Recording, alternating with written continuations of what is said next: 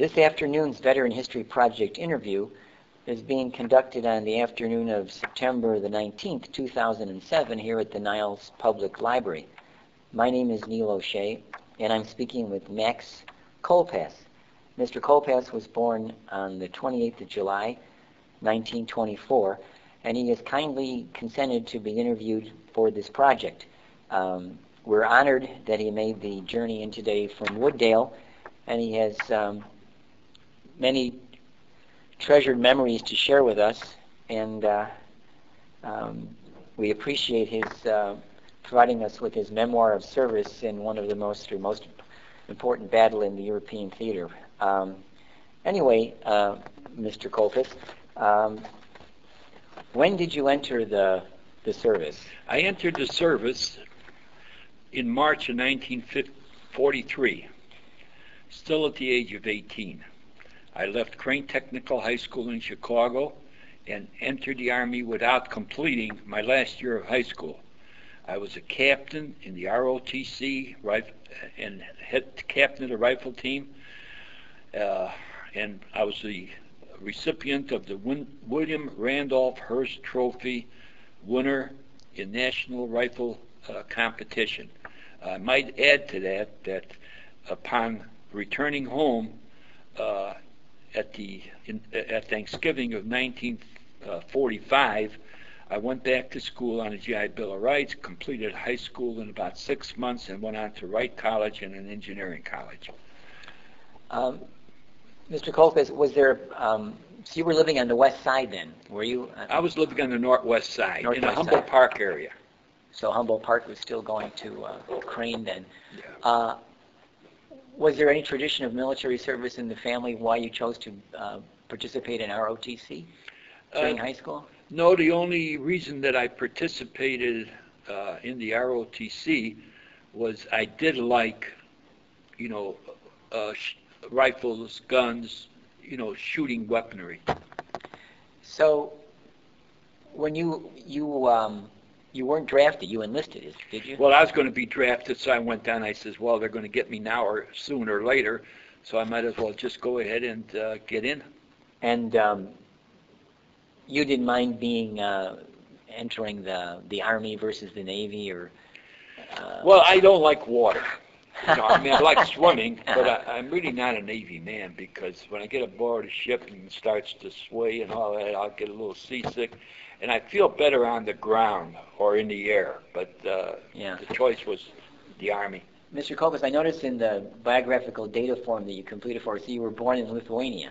That is correct. How old were you when you came to the Well, that's a real, States? you know, you, you ask a real good uh, question, I'll, Neil, I'll tell you. I had that down in my notes. Uh, I came from Europe, from Lithuania, at the age of nine in 1933. And then with my several years of service during the war in Europe, I actually had 11 years of service, uh, of time in Europe, more than most other Yes. uh, of our soldiers ever did. so you came to this country at the age of nine. Did you know English then? Or No, no, that, that was a real. I'll tell you, that's a real, real rough go. I, I got to tell you, uh, you know, you enter grammar school at the age of nine. You Yes. start out with, I think, first grade. You have to learn your language, and it, you know, the time that my mother and my myself and two brothers arrived here, uh, we spoke generally about four or five languages. Uh, we spoke uh, Lithuanian thoroughly. We spoke uh, Jewish. We spoke uh, uh, Russian, uh, German. So you know, getting into this English group, it, it really made a little bit rough. You know, you're, you're you're you're off to a tough start.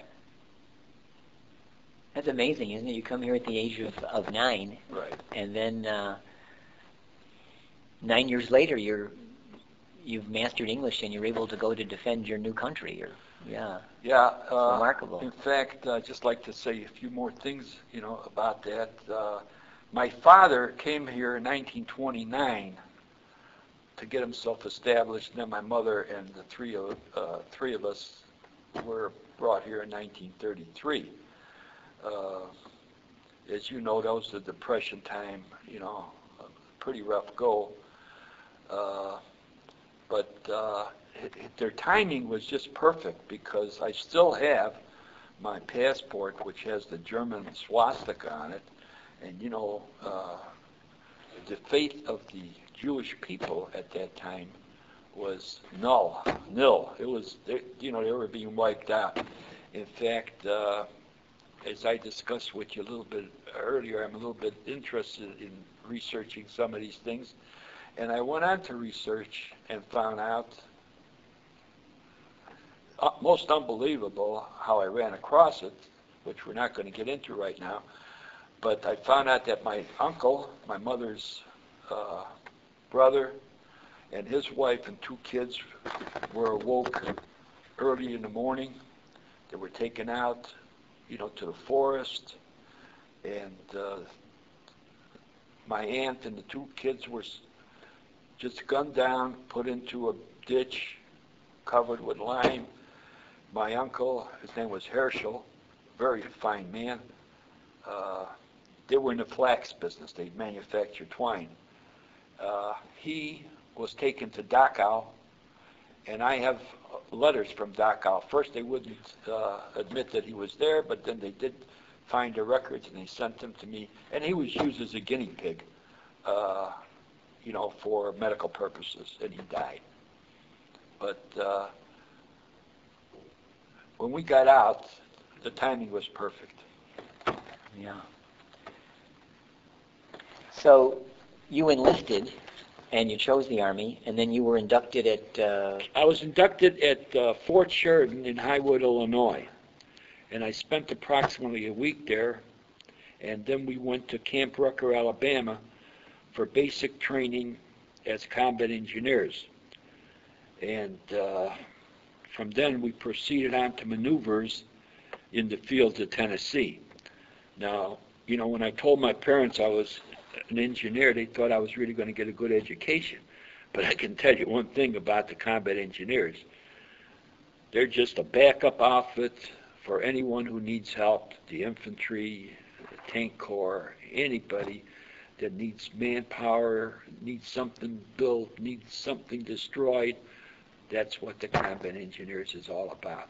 It's a lot of hard work. You're not necessarily building bridges or something. Or, oh, oh yeah, yeah. We're building bridges. We're building bridges over the rivers, pontoon boat uh, bridges. We're building Bailey bridges. We're building trestle bridges. They go up, and when they're done, like on the Baileys that are out of metal, iron, we take them down to use them again. Others are just destroyed after they're put up. Yeah. So um, your family would they understood your reasons for wanting to to uh, to enlist and well, participate in the war? And, no, they weren't really happy about me, you know, uh, going into the service for fear of I'd never come back. But you know, I promised my mother when I left and walked out on Rockwell Street and headed for the streetcar that I was returning, and I don't break my promises. And you kept. I kept my promise. Yeah.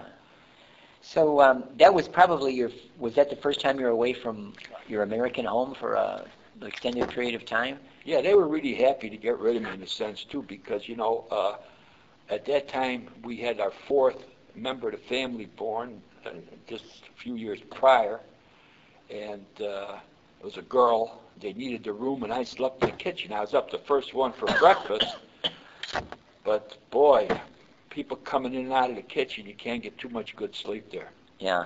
So you um, did you find boot camp hard or basic training? No, I had no trouble adjusting to boot camp or uh, you know uh, training. Uh, I I always try to do my best, you know, uh, during the uh, period in the service. Uh, I learned one thing quickly, which you know you change your mind about, uh, and, and that's when they ask for volunteers, don't volunteer for anything. You know, if they ask you if you want to take a, a, a bus tour or get on a truck and, and, you know, ride around in the truck and all that, there's going to be a lot of work attached to that.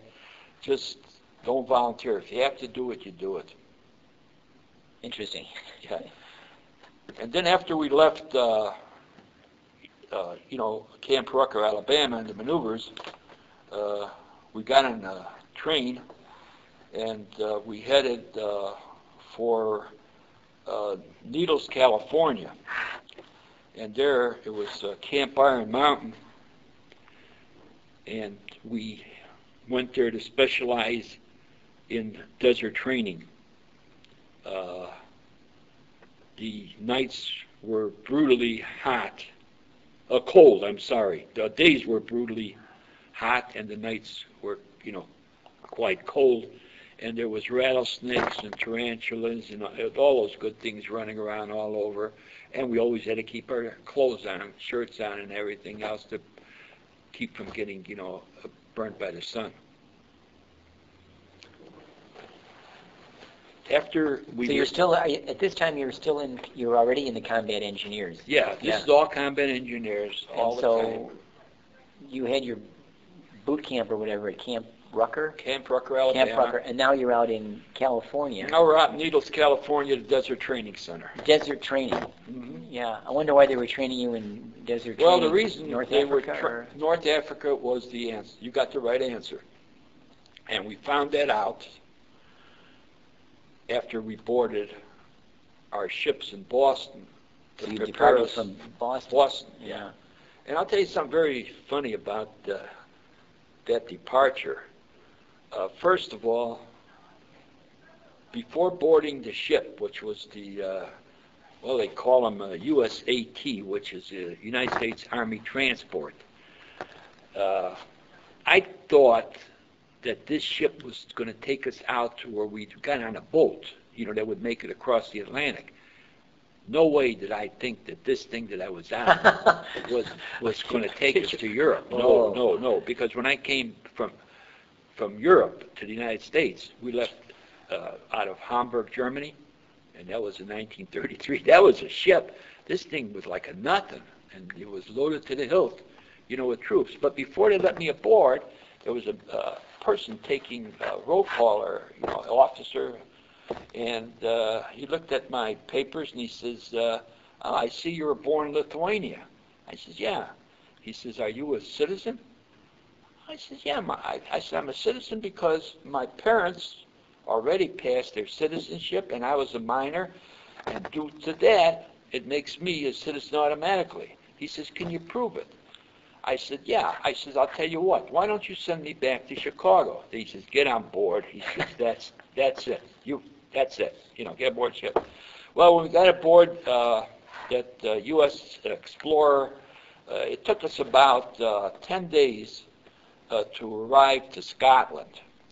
Slow going. Uh, well, it's not that it's slow going, Neil. It's uh, they zigzag all the Zigzag time. to avoid the, And then uh, in January we had terrible weather. The waves were I don't know how high, but high, high. And unfortunately, we lost one man overboard because as the ship was swaying from side to side, he couldn't hold on when he got to the rails, the ropes, and he just went over. But he was dead about, uh, you know, at the time he hit the water. So uh, they and, and you couldn't stop. Uh, you he know, would have died. he would have died force? from impact, and the, and the, uh, you know, the, the, the temperature of the water would have killed them.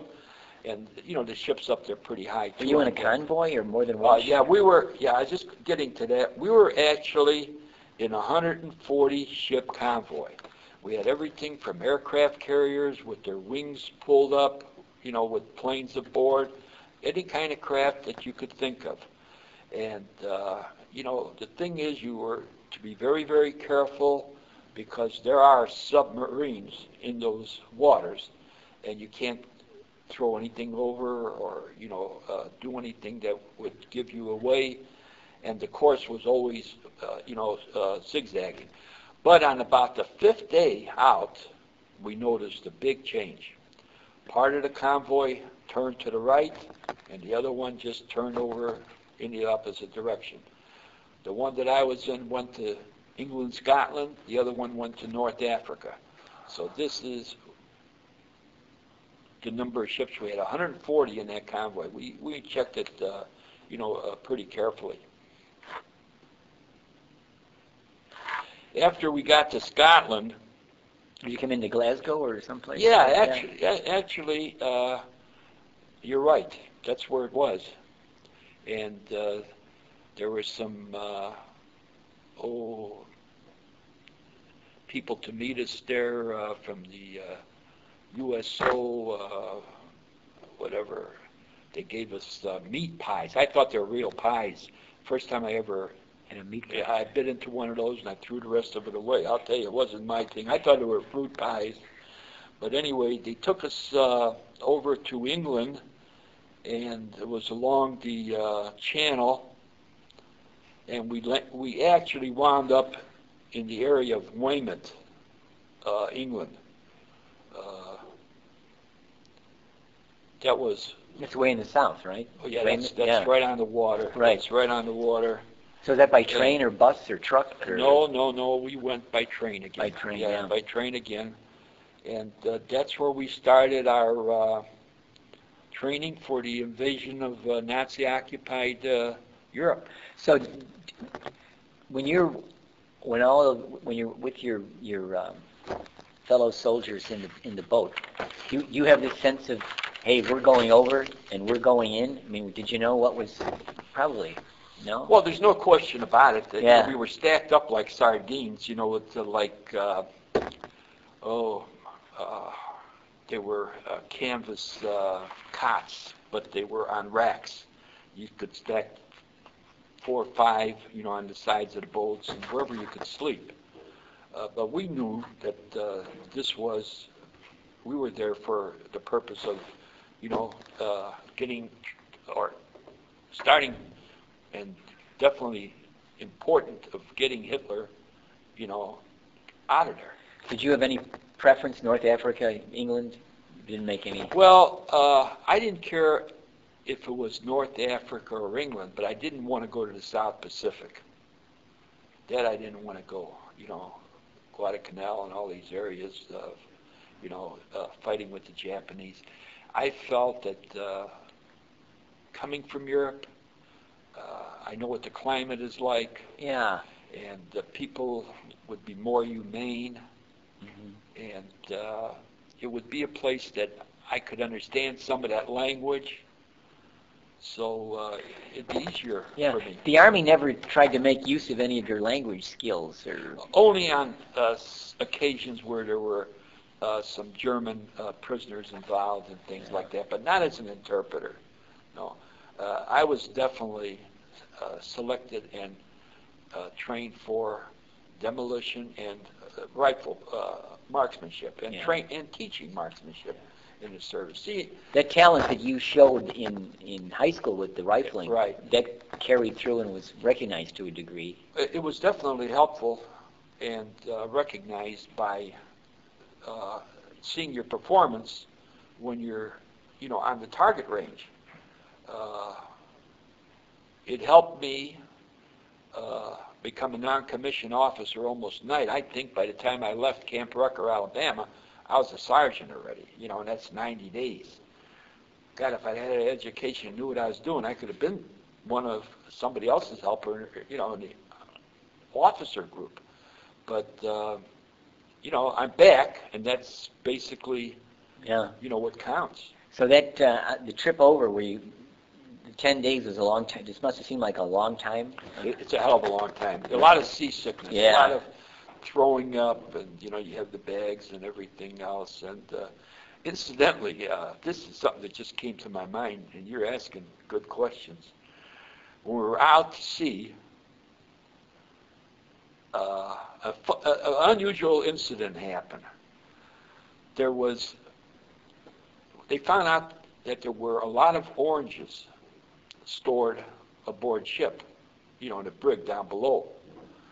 So some of the men took it upon themselves to get down and help themselves to cases of oranges. And then the, uh, one of the officers aboard ship from the Navy started chasing them, and they dropped the crates and knocked him down the stairs into the brig. And the next thing we heard aboard ship, and this is the first time I bring this up in a long time, is here it is, here it is, attention, here it is, here it is. everyone is restricted to the ship. No one is allowed to leave the ship. Well, where the hell are we going to go? There's nowhere to go anyway. You're down to about 70 ships out there zigzagging, but uh, we were reprimanded for that, you know. Were It's a good try. Yeah, Yeah, it's Yeah. an unusual thing that happened there. yeah. Restricted to the ship, yeah. Yeah, everybody's restricted to the ship. So then England, it's, you probably land in um, J- January or February? In January. So the weather must have been a little wet or, Well, the weather Cool. there is never good, even at at good times. But uh, you know, it, it it's uh, but you adjusted to the food or uh, well, the food was still Army? uh, we were not allowed to eat civilian food because of rationing. That was a real no-no.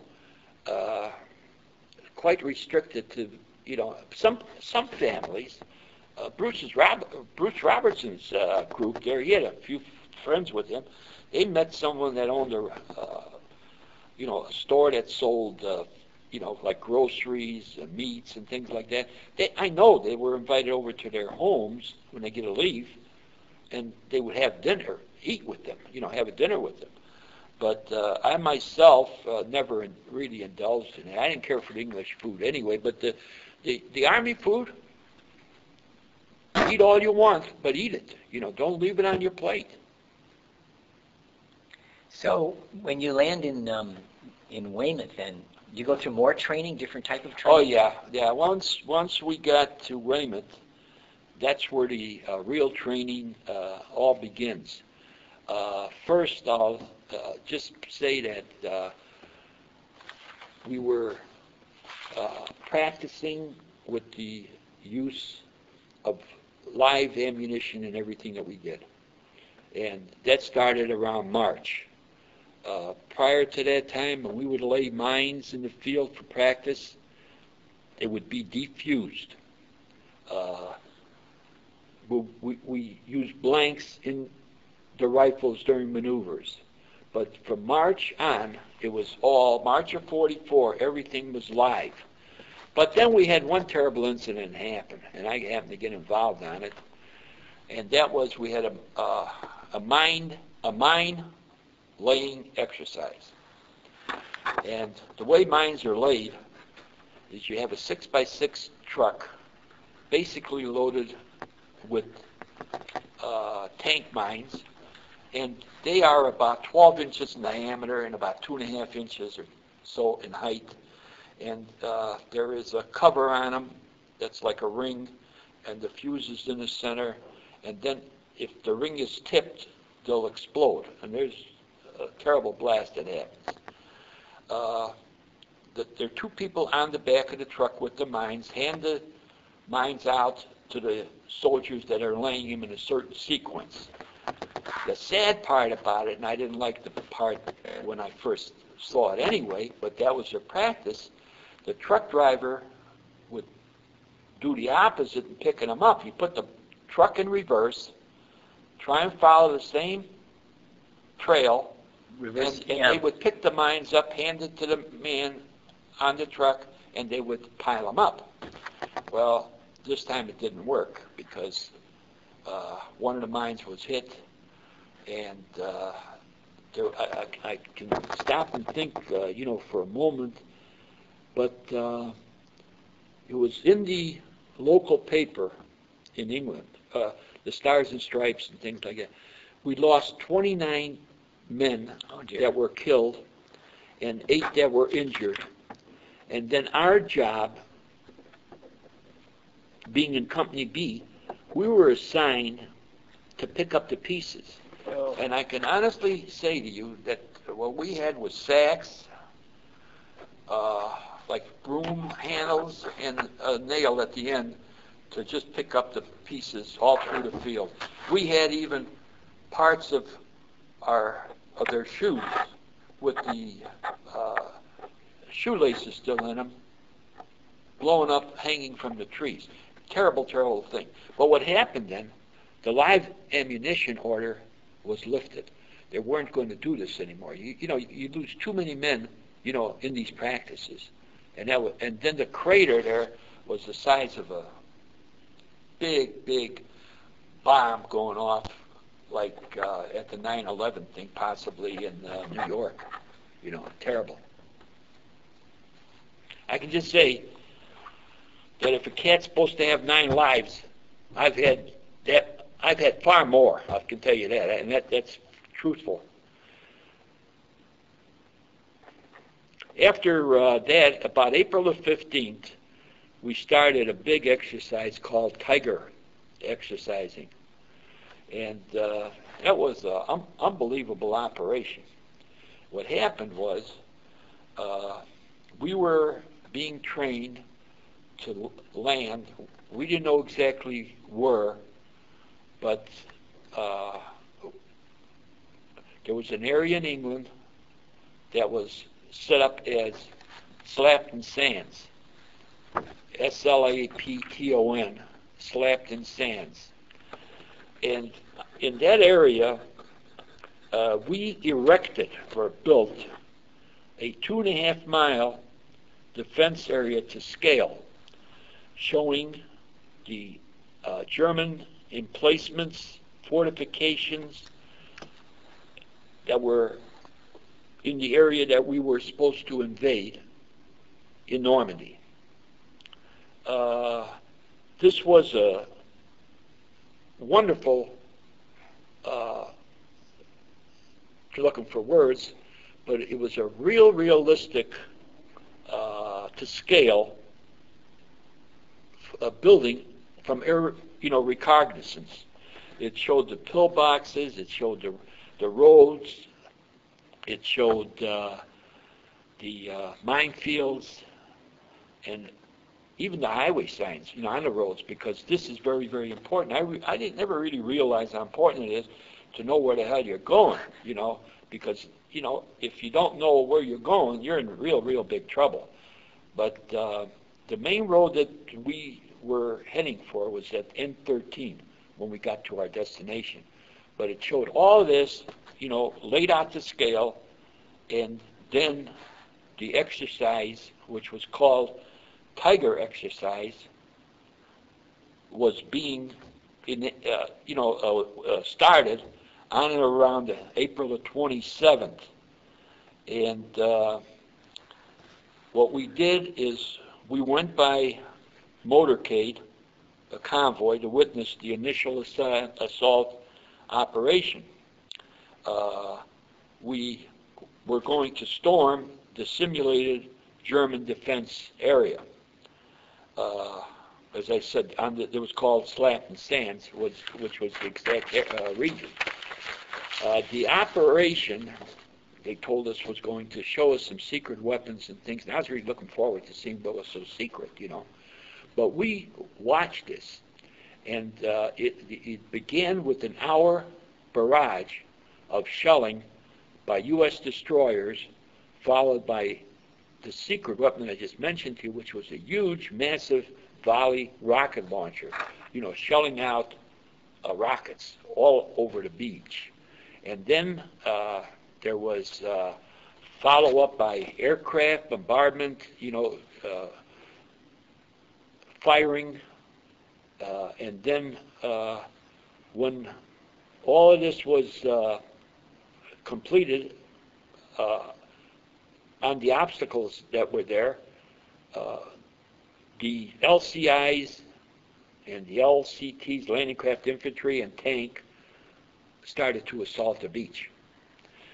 But there was only one big problem with that one, and it's factual, documented.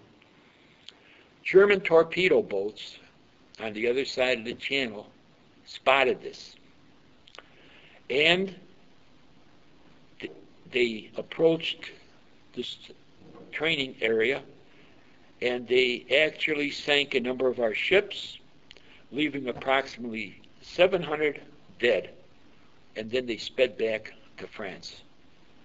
Uh, this this was actually witnessed by uh, our big brass, which included uh, Dwight David Eisenhower, uh, Omar Bradley, uh, Montgomery.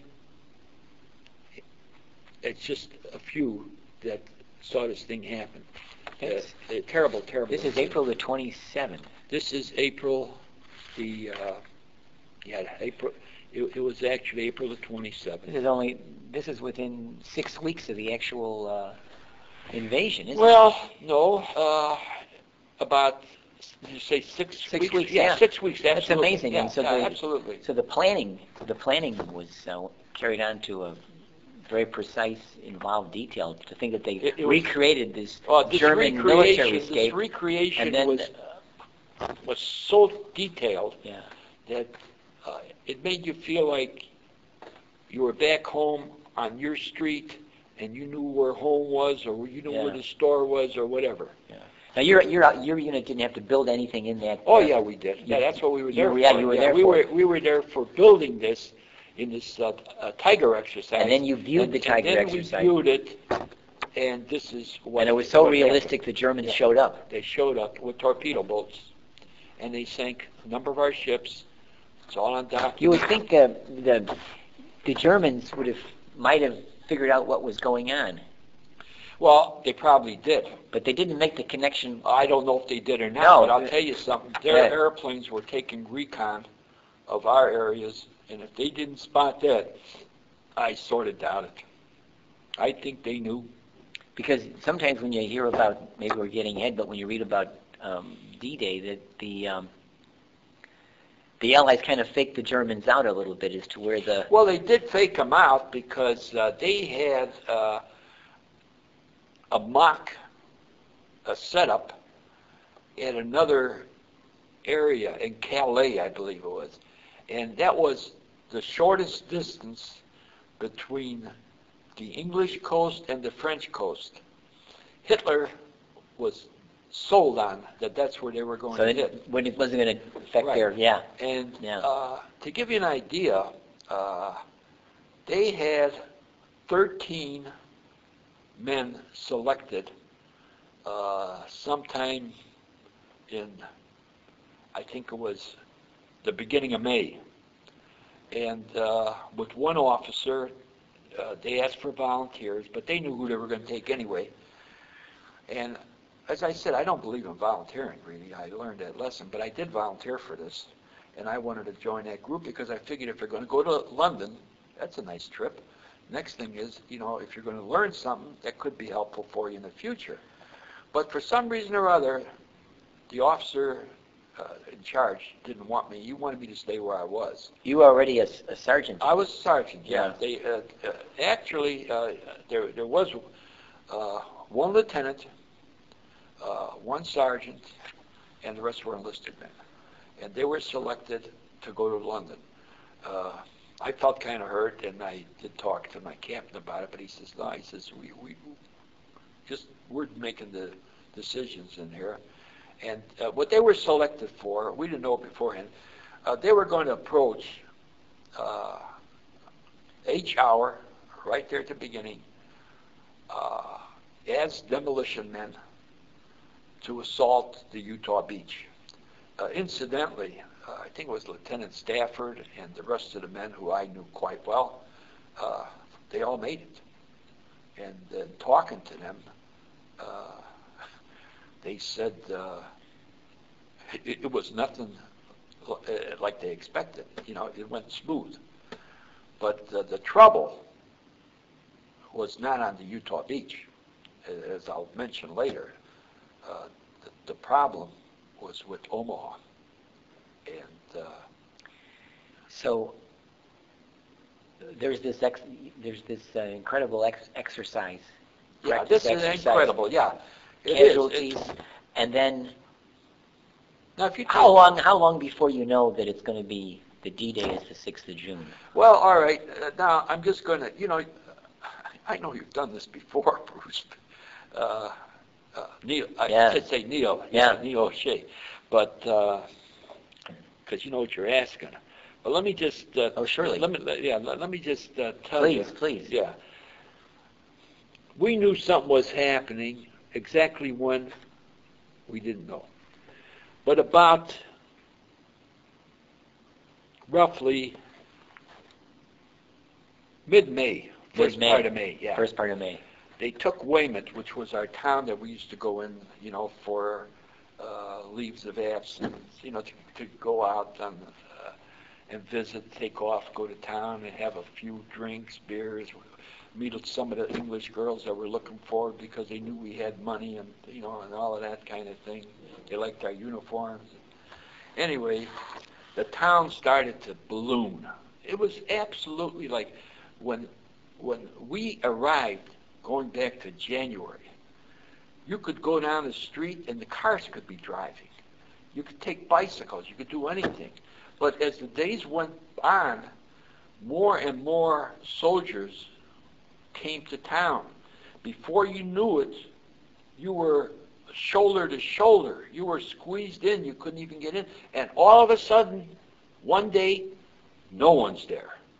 Now, that's the first sign that you know something's going to happen. Well, let me just, you, are on a good point in there, but uh, let me just uh, sure. explain to yeah, you please. what happened about that time. It was about the end of May, the first part of June. They took us by truck, six by sixes, to the marshalling areas. Now, marshalling area was along the coast of England, not far from where we were camped. The only thing is, uh, we were uh, uh, in, in, a wired, like a cyclone wired, high fenced compound. You couldn't get in, you couldn't get out. It was guarded by the MPs. Now, you know, when you're going to tell someone they're going off to war, I'll tell you, they're not the happiest campers. Uh, I, I wasn't. I mean, uh, you know, you know, you're going to, you, you know, you're training for this. The day's going to come, but someone is going to get not only hurt, they're going to get killed. See, so they were pretty smart. What they would do, beginning from that time on, they'd wake you up like a ridiculous hour. Oh, right. 1:45 in the morning. This is it. Put your clothes on pack your gear. We're going to go across the channel. So everybody's, you know, all worried and getting everything together to take you out to the boats. They put you on an LCI. The LCI goes out for 45 minutes or half hour, returns back, dry run. Okay. Wow. Boy, that makes you bitch. That oh, you oh, oh. Here I, I was fast asleep, and now that the they got me on a boat, and then now they put me back in these compounds.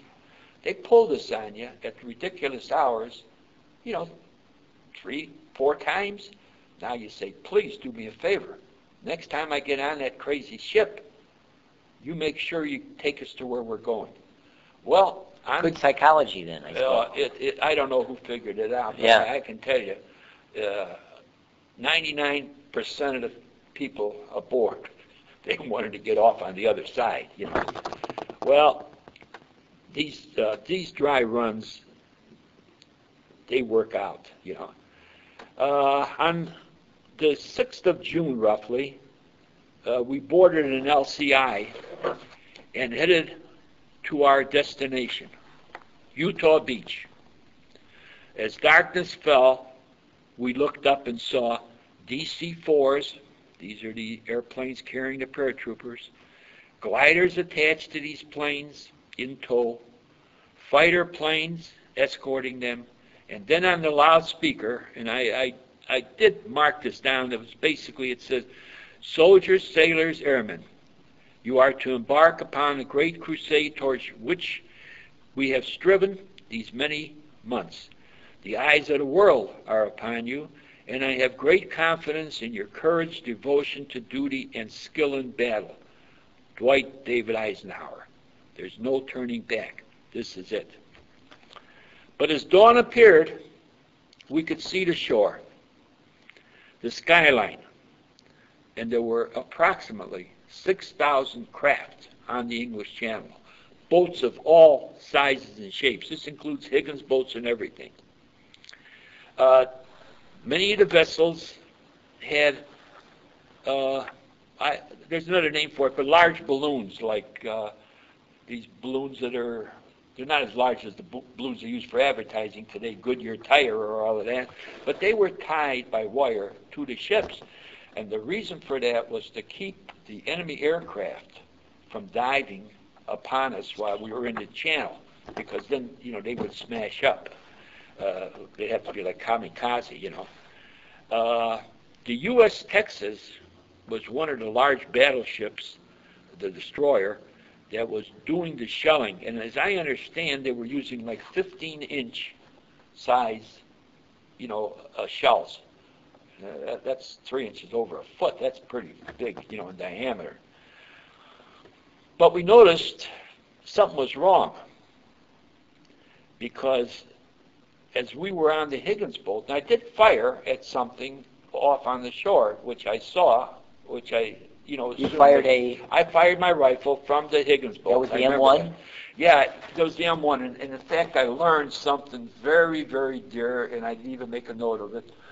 I thought that going into battle, I'm going to get a bunch of tracers because this way I know where you're shooting.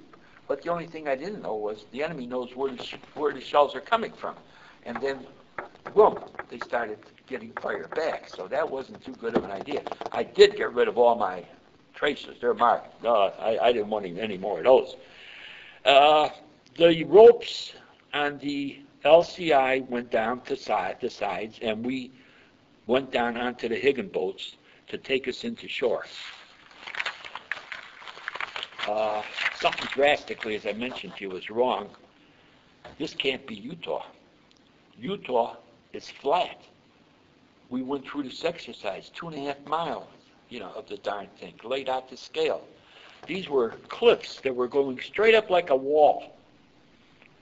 And there was shells, gunfire hitting the water, and our soldiers were floating on the water, dead.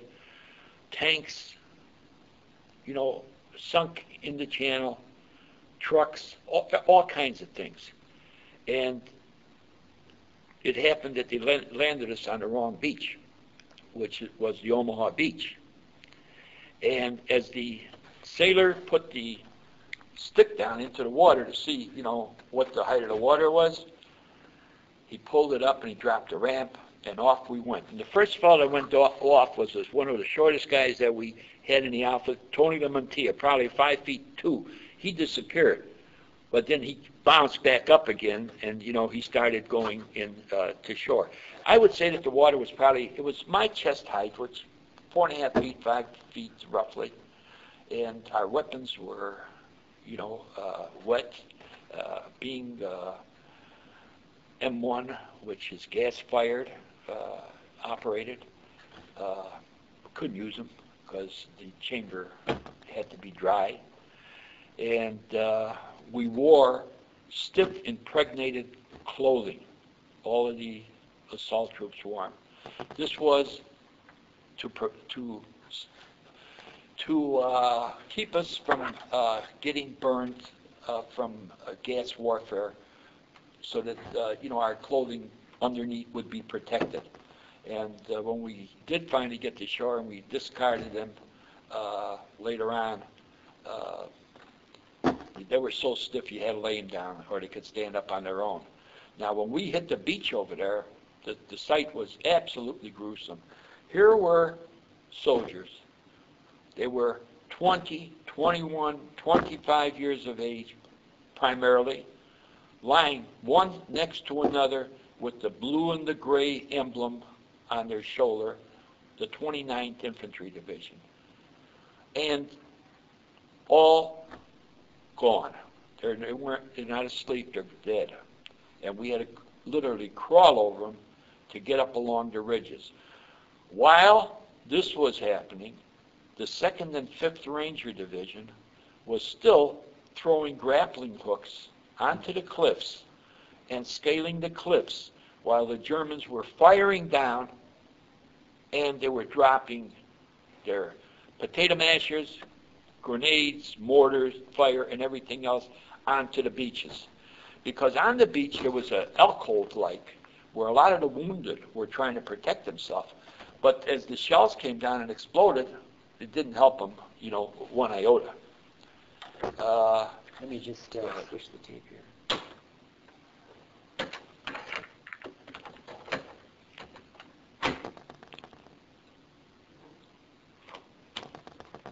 Those poor men who were Dead. dead on the beach, Yeah. that was because of rifle and machine gun fire Fire. from the emplacements on the, on the cliffs? That's correct.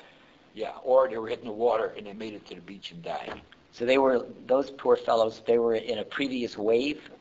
Oh, yeah. Now, there's a big mix-up on this whole thing that I'm Yeah. uh, telling you, because uh, even when I started thinking about this, and, uh, you know, this Lieutenant uh, Colonel uh, Robertson was checking into this, uh, when the 298 landed, there were supposed to be like four different echelons that landed at different times. Uh, the records are a little bit confusing and it's you know hard to know exactly where you're at. It could have been that it was uh, when we saw those uh, aircraft overhead, paratroopers ready to jump at night, uh, the glider planes coming down, uh, landing and crashing. That could have been. The, be, they were there before us by maybe a day. Who the hell knows, really? Because y- you don't have a calendar that you're looking at. Uh, but the only thing is, I can just tell you, we weren't far behind. It wasn't like the initial wave that came in on Utah at H hour. Uh, there was still firing going on, Yeah. and, and the Rangers weren't there just to But it was, a, a but it was an, it was an absolute mistake that you were landed on Utah. Wasn't Well, the I- no, decided that they no, needed I'll more people what. there, do you think? Yeah, you know what? I'll tell you something, Neil. You're absolutely right, because the further I started checking into this, they said that it was a possible uh, correction by the military to take the people that were headed for Utah, bring them to Omaha, because the big losses that they were taking, and they were even contemplating stopping that part of the invasion at Omaha Beach. I can tell you, when I got up to the top of the cliffs, I actually had within a day a chance to look at their trenches.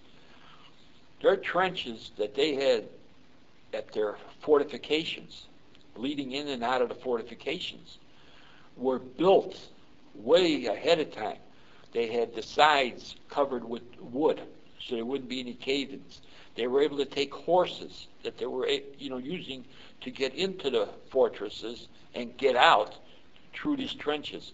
They had a step up where, in, in, in a regular foxhole, you're in there maybe five foot.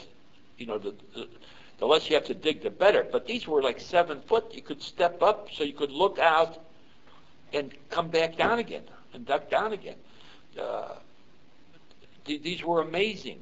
Uh, they had they didn't need any maps as to where to shoot. It was just random shooting. They they used up all the ammunition they probably they possibly could use, and they would just go from one end to the other end and keep spraying the areas, you know, with gunfire. It was real hell. It was really, really rough. But as you just mentioned a moment ago, uh, it poss- it's very, very possible that we came there because the, the first division was there, the Big Red, the number one, and the 29th, and they were in need of help. In fact, what happened when I got up to the top and we got ourselves pretty well organized to where we got rid of the our uh, impregnated clothing. Uh, we even threw away the gas mask, which uh, there was a, it's a mistake because about four or five days later they, They asked you they, they, no they they said air gas uh, a gas uh, Oh. attack, and then what are you going to do? You don't even have them, but we dumped them, and it was a false you know uh, attack. And uh, I went up to a captain there, and I, I asked him from the 29th. I says, Captain, you know, we're we're, we're not supposed to really be here. he says, Well, he said, you know how to use a rifle? I says, Yeah, I happen to be a sharpshooter. He said, Well, then we can use you and your men. Just stay with us. Who you with? 298. Well, you'll meet up with the 298 down the line, He says, when you get to around Carentan. And he was absolutely right, and that's what happened. And that captain was in He was with the 29th uh, Infantry Division. 29th Infantry. Yeah, yeah. So that's where we, we stuck with him. And he says, if you can use a rifle, he says, we can use you. Uh, in about a week later, we did meet up, you know, with the uh, 298.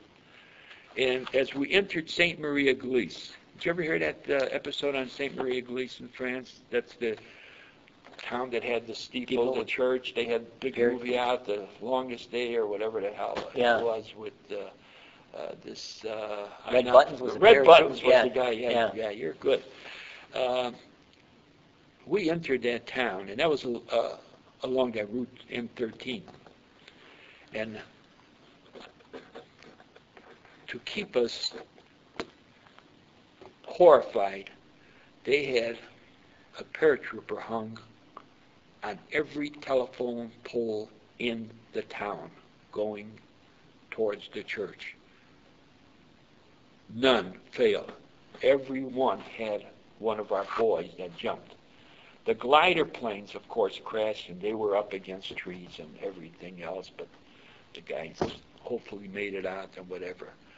But that shows the first sign of the brutalness of the Nazi yeah. uh, forces. And then what happened was they were, uh, there was a very narrow street, but as they were firing at us, we were on both sides of the streets. You know, we had men on the right, men on the left. And they couldn't figure out where, you know, they were getting their directions for their, uh, for, for their uh, weapons to fire at us. And they found there was a priest in the, in, the, in the steeple, and they shot him down, and uh, that cut some of that down. Uh, so The priest was helping the Germans, Oh yeah, yeah. He was. Uh, yeah, it, it was like I said, it was a terrible sight uh, to see these uh, paratroopers uh, hanging on all of the uh, telephone poles, and uh, then then something. You know, the hedgerow country. Uh, just about that's right exactly about that time. I got my first Luger, and uh, I gave it to my son, Michael, who lives in Skokie, and he has it now. Is it a good weapon? Wonderful weapon. Uh, in fact, the numbers are on on, on there are 8868. That's the Luger number.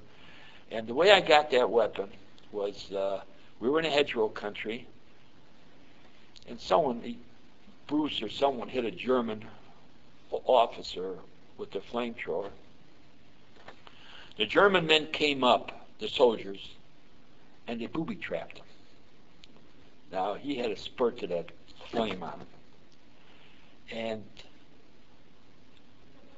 I called for my six by six and we took the winch out. I pulled the winch between the hedges, came up to the officer, and I put the winch hook onto his belt. Went back to the hedges, through the hedges to the truck, and I says, pull him in. Well, he blew up immediately because they had him booby trapped. I went back in there and I got his binoculars and his, uh, you know, a Luger. The Luger itself was in excellent mint condition. I still have it. The two clips, the, everything goes with it. The holster was damaged. It had damage to it, but that's the way it is today. If the holster's damaged, the Luger is perfect.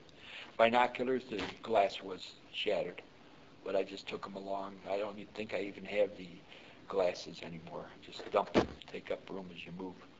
But uh, that was the story on my first uh, trophy. Uh, incidentally, talking, you know, I, I was accused of, uh, you know, uh, going after souvenirs. You know, and that's a no-no. But uh, when we were at that dump, it's amazing what you can do. I took a rifle out of that dump the first day in that uh, dump. This is the ammunition dump, bit- The ammunition, German ammunition dump in which Barfleur. declared, in Barfleur, which In you had Barfleur declared, area, yeah. And I came back, and I had a Mauser that was in Cosmoline. It was covered, you know, with protective grease. A Mauser is a, A rifle. another a rifle. Yeah, wonderful piece of. Another good weapon. Very, very good weapon. Uh, I took that gun, broke it apart, you know, disassembled it, put it in a box, and I said to one of the officers, I'd like to send this home. And as long as he put his signature on it, I hope my son has that one too. I happen to have a sniper's one that I picked up during the war, and uh, that one, I, it's the only weapon I really have uh, that's any value. Is the sniper weapon a Mauser also? or- Yeah. Yeah. Yeah, it's a special gun. Uh, the, uh, the sniper gun, I know uh, how I got it, but it, this, what's special about it is it's not a 30 caliber. It's a 22 long rifle. Beautiful. Longer range then, or? Oh, yeah, it has a sniper uh, sight on it, everything. And someone was in a tree, and I, after they fell out of the tree, I picked it up. So uh, that one I took home. So did you do any long-range marksmanship, would you say, when you're going, uh, and these, you made use of your own rifle skills while you're, Yeah. yeah. Yeah. Well, I, I was I, I was blessed with, uh, you know, there's only four positions: prone, which you almost never miss. That's when you're laying down. Sitting position, which you seldom use. Kneeling, and you know, being up erect. And that's the hardest because you got to keep that sight and let it go where it's supposed to go. And they are accurate. I, I learned a few things in combat the first few nights. Uh, incidentally, the first few nights in combat were like the 4th of July all over again. Every night, every night it was the 4th, except these things that were coming down on you were real. And it lit up the sky like crazy. And you got to get used to this stuff because you can't worry about it. I, I, I, tell you, my wife does not understand me because I'm too dumb to really worry. If you don't see anything wrong, if everything is quiet, nothing is happening, or you're dead. If you can hear it and it's all noisy and everything else, you're still alive. So what the hell? What do you? what- What's there to worry about? That was my my theory Yeah. all my days of my life.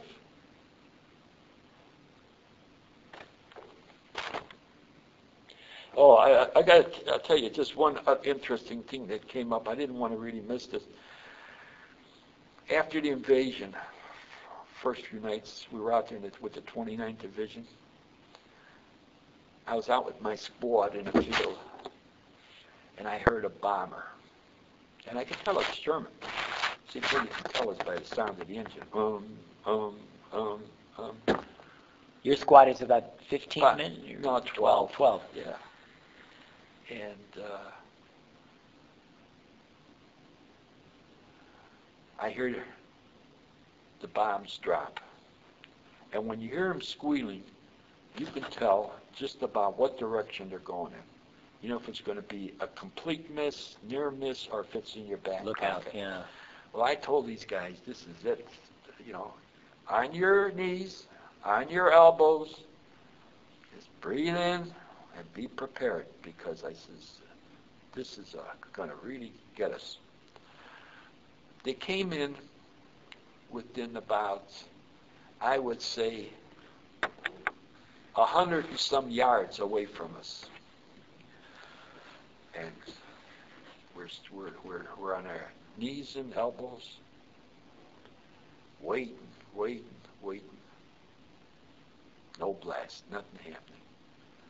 Morning comes, bomb disposal comes out. They take out the fuses, and there's a note in each of those bombs. One was, I know one was a 2,000 pound and the other a 500. Compliments to the French underground. As they loaded them on the plane, they did not put the fuses in. Thank God. Vive la France. Little France, I'm telling you, I'm telling you. So help me, Lord. That's one of those lives you mentioned. Yeah, that's one. That's one of those lives for sure. Yeah. Uh,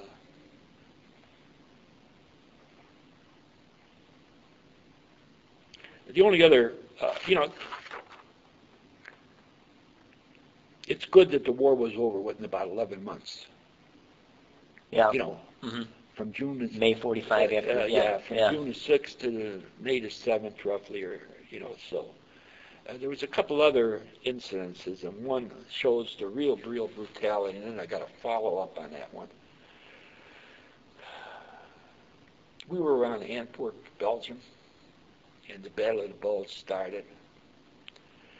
And later on, you know, they try to get our general from the either 101st or 82nd to re, to surrender. McCullough? Mc, yeah, McCullough. Yeah. And he answered with one word, nuts, you know.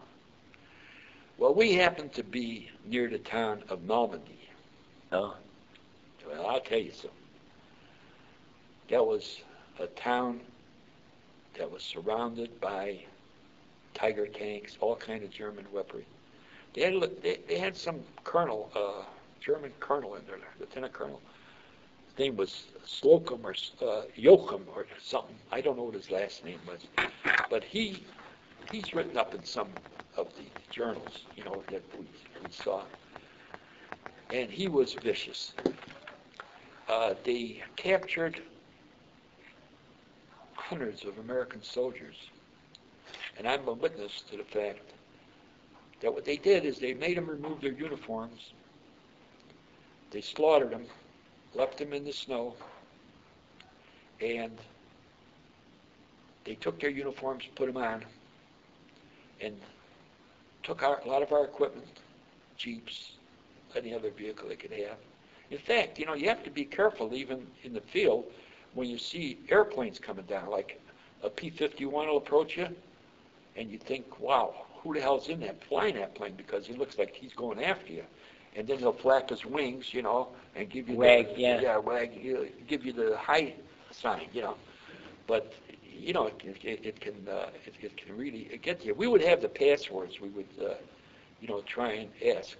Uh, but uh, that that killing was there's there's no words that can describe how rootless, terrible that is. That, that that gives you a sign when you hear about these concentration camps I never ran across, thank God, of what they could have been yeah. you know, like. Uh, we had a we had a funny incident happen uh, around uh, April, May of uh, '44.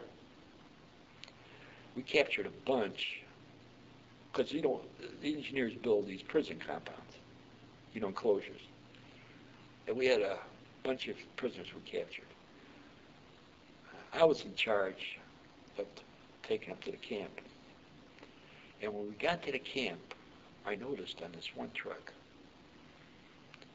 there was a German high-ranking officer. And I, I, I like to collect things, you know, like you capture him, you take a ring, a couple of, you know, uh, medals or decorations or whatever. This guy had to be four by four. I mean, he was short and he was bigger than any pig I ever saw.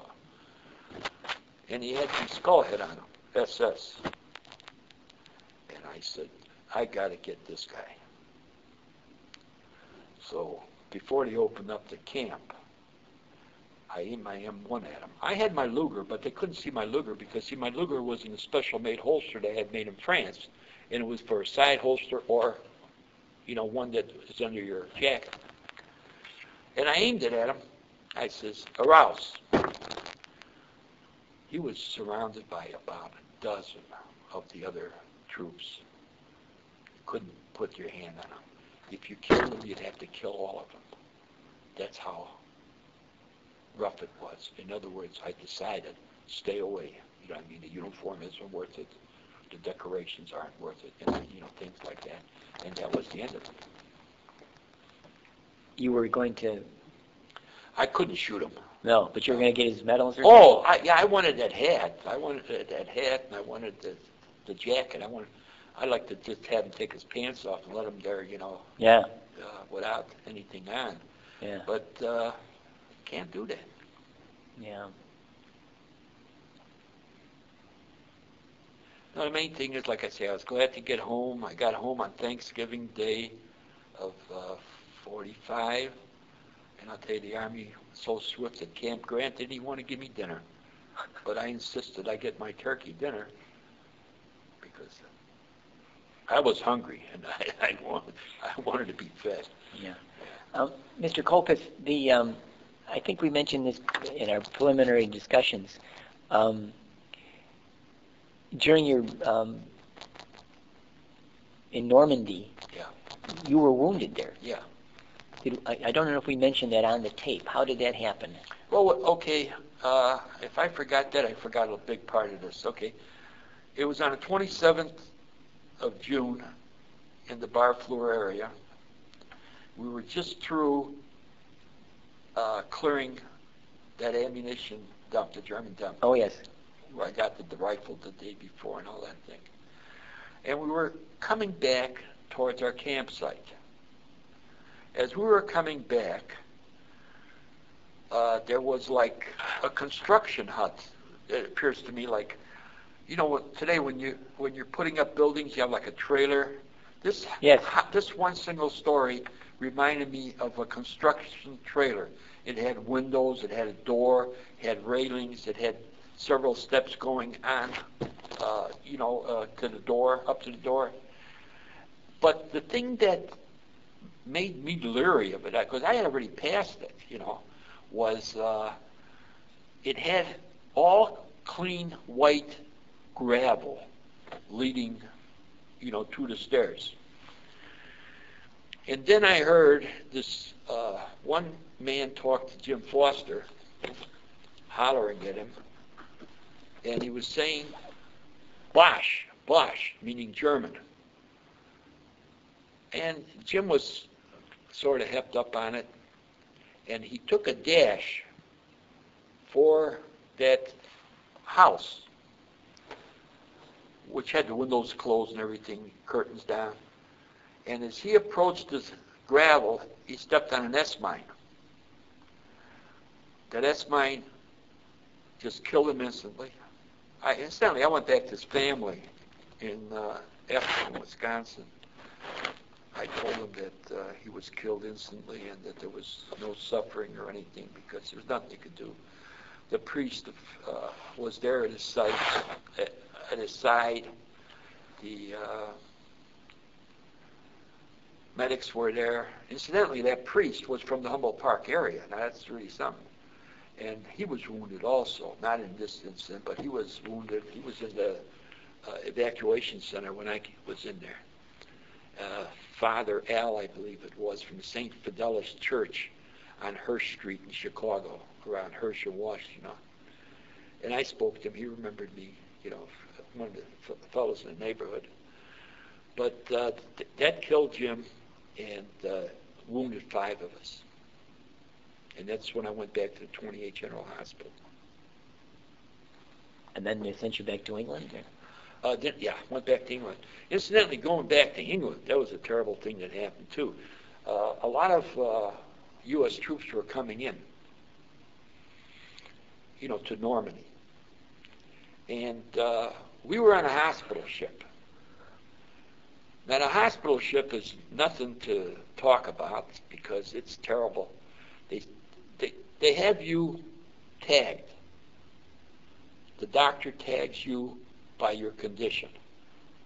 The ones that are gone, they stack up like firewood on the deck, you know, five high, five stacks high, whatever. The ones that are about to, terrible, terrible shape, they're fed with morphine. The ones like myself that they can help, you're bandaged up and you're on your way. Just as we were leaving the Normandy area, a ship of troops came in. They had mines still out there in the water, and the mines are about two foot diameter, round, like balls. And they have these feelers on them, on the sides, the top. And when they hit something they explode, that's it, baby. You know, they hit one of those ships. We lowered mattresses down to pick them up to bring them up to the ship so we could take them back to England. And the, the medical corps was busier than hell picking up the dead and the wounded that hit the mine just as we were leaving. So that was another terrible thing. And the sight when you come back to England of seeing all of those dabbed olive green, I, I thought of that word, you know, ambulances waiting, like an endless, Yeah. you know, row coming to pick you up, taking four at a time in or more or less. You know. So you made a you, you recovered then in England. Yeah. Yeah, I recovered in England. Did you have American nurses or English nurses? Or? Oh, no, we had American, and uh, we were in a big hospital, treated very, very, very well. Where was that? Uh, 28 General Hospital, wherever it was located. Okay. You know, I don't have the name of the town. I, you asked me that question actually once before. Oh, sorry. No, that's all right, but I couldn't remember then. I can't Yeah. remember now. You know Yeah. where it was. And then, um, then after a couple, three months, then you're they send you back. Yeah, I came back to Europe. And at that time, you you again go by boat, but this time you land. Oh yeah, oh yeah. You, did you ever hear this from anybody else? No. You must have. No, no. You must have. Anyway, coming back, what a difference. Instead of being dropped off in the water, you're Progress. you're, you're boy, I mean, you're you're put on. You, you pull up to a dock where you had to go through with your rifle above your head. You you're you're on a landing. You walk in right right onto the you know uh, on the earth. Right at you forget the beach. The beach is down below. Yeah. Amazing. And was that at Antwerp you came in? No. Uh, No, no, no, no. That was came back to the same basic area. Normandy Uh, again. Normandy Yeah. again. Oh, this Yeah. time, yeah. Yeah, no, Normandy again. Yeah. Yeah.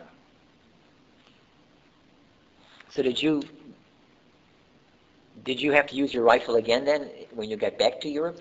Oh yeah, You were you were still Yeah. back in the yeah. Incidentally, on those rifles, see what you do is I thought that you know, uh, being a, a real good marksman, really, quite steady-handed. One of the things you want to peer through is your sight. You know, the sights are blackened; they're black. Uh, what what would you say? Uh, flat black. Well, I thought I'd polish them up, and then when I looked through the sight, I could see where that thing is aiming at. They could see too. It's like the tracers. yeah. Many a nights, carbon to cover them, you know, Yeah. because you want to make sure it's not seen. So when you when the um, do you rejoin your reg- your unit then when you come back to Not, Europe? not exactly. No. I was discharged. I came in with the 298, and I was discharged with the 298. Uh, I did other tasks that uh, I don't want to bring up at this session. Sure. You know, uh, like retraining uh, Mhm. pe- personnel and things like that. But you you were in the drive to Germany then, were you? Oh yeah, oh Yeah. yeah, yeah. We, I participated in all of the uh, in all of the campaigns. I missed none. With your nine nine lives, yeah. yeah, yeah. over nine lives. So um, when you came back then, did you uh, you you you made use of the GI Bill?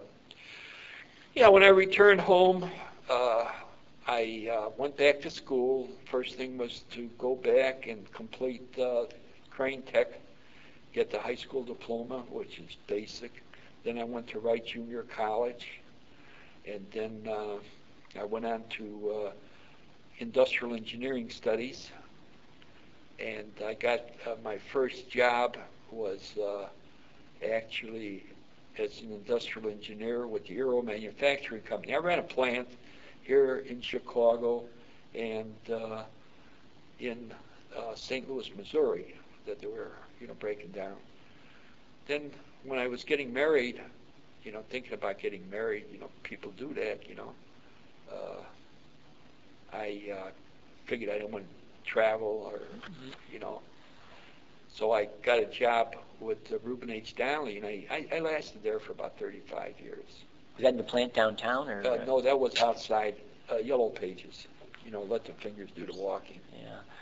Um, Your wife was. Did you know her before you went in the service? Uh, okay, my wife I didn't know before I went into the service. Uh, I knew a lot of other girls Yeah. before going into the service. Strike that one. Uh, but uh, no, I was married twice. I am married. My, this is my second marriage. I was married uh, after I got out of the service in 1953. Fifty. oh, Okay, it was a, Yeah. a bit of time had Yeah. passed. Oh yeah, because schooling and everything Yeah. else, and So when you came back from the service, then you were pretty serious about.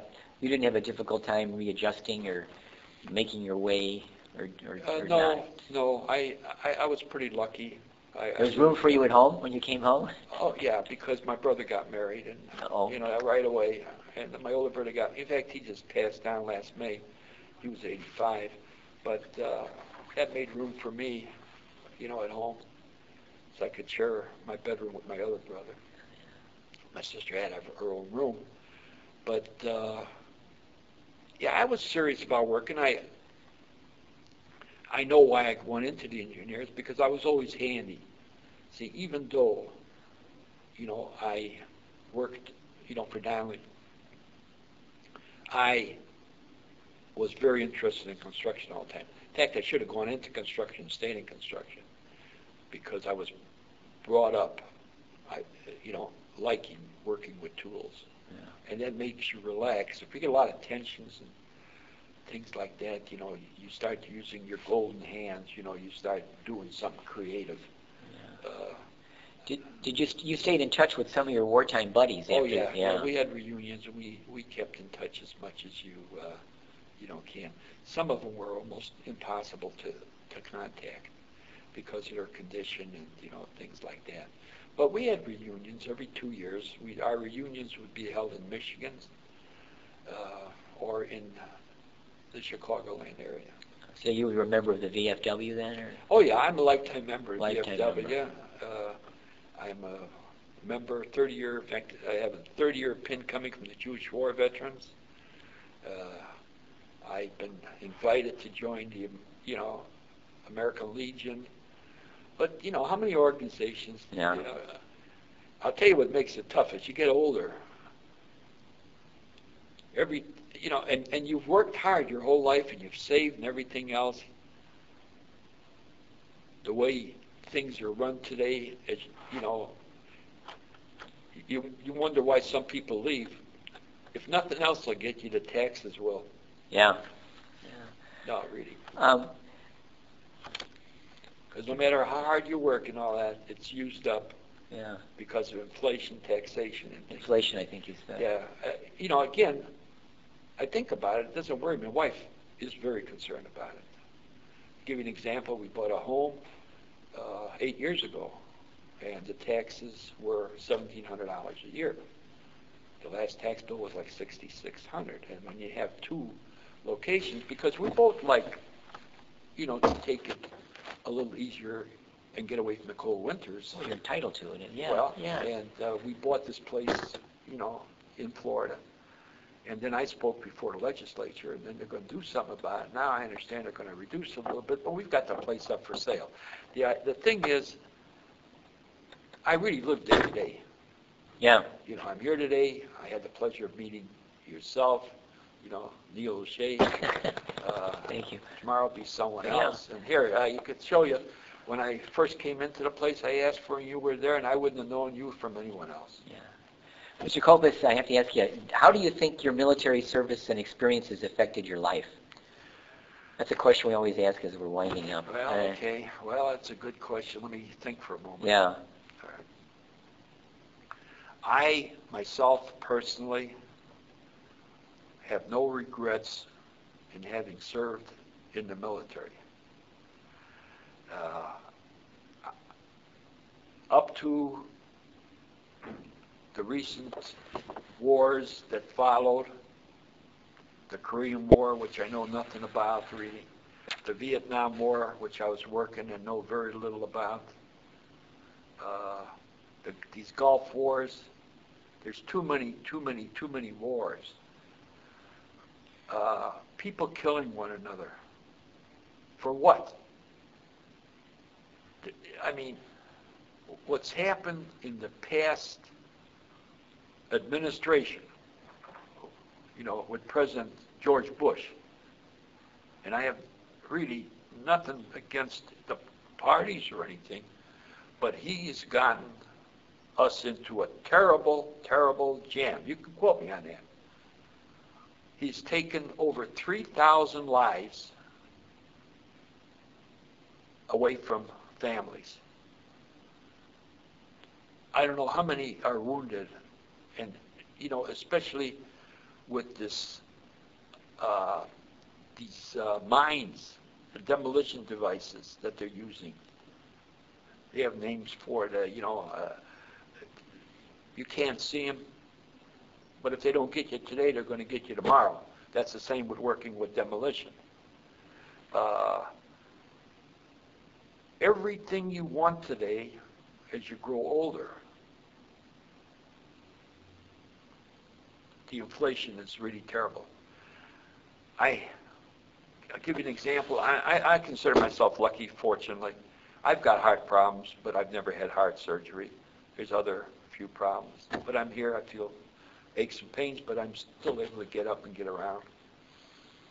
Uh, we went to a doctor you go to, you know, you live long enough, your doctors leave you.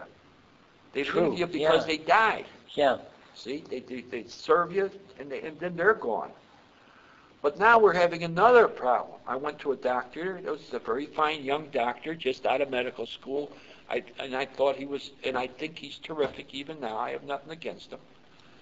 But all of a sudden, he decides that he wants to make more money. He's going to still stay as a doctor. He's not going into uh, carpentry or, you know, concrete work or anything. But now the only difference is he's joined a group, a VIP group. Max, if you want to come to me, I'm inviting you with open arms. Your wife is welcome as well. But now, for the two of you to see me, $3,000 up front at the Rush Presbyterian St. Luke's Hospital, or I can't operate. I can't see so many people. I have to limit my practice. I'm going to give you better service. I'll be on the phone to answer your calls whenever you call. I, I hope I live to see that from any doctor. You call them, they're on vacation, Yeah. or they're busy, or whatever it is. Yeah.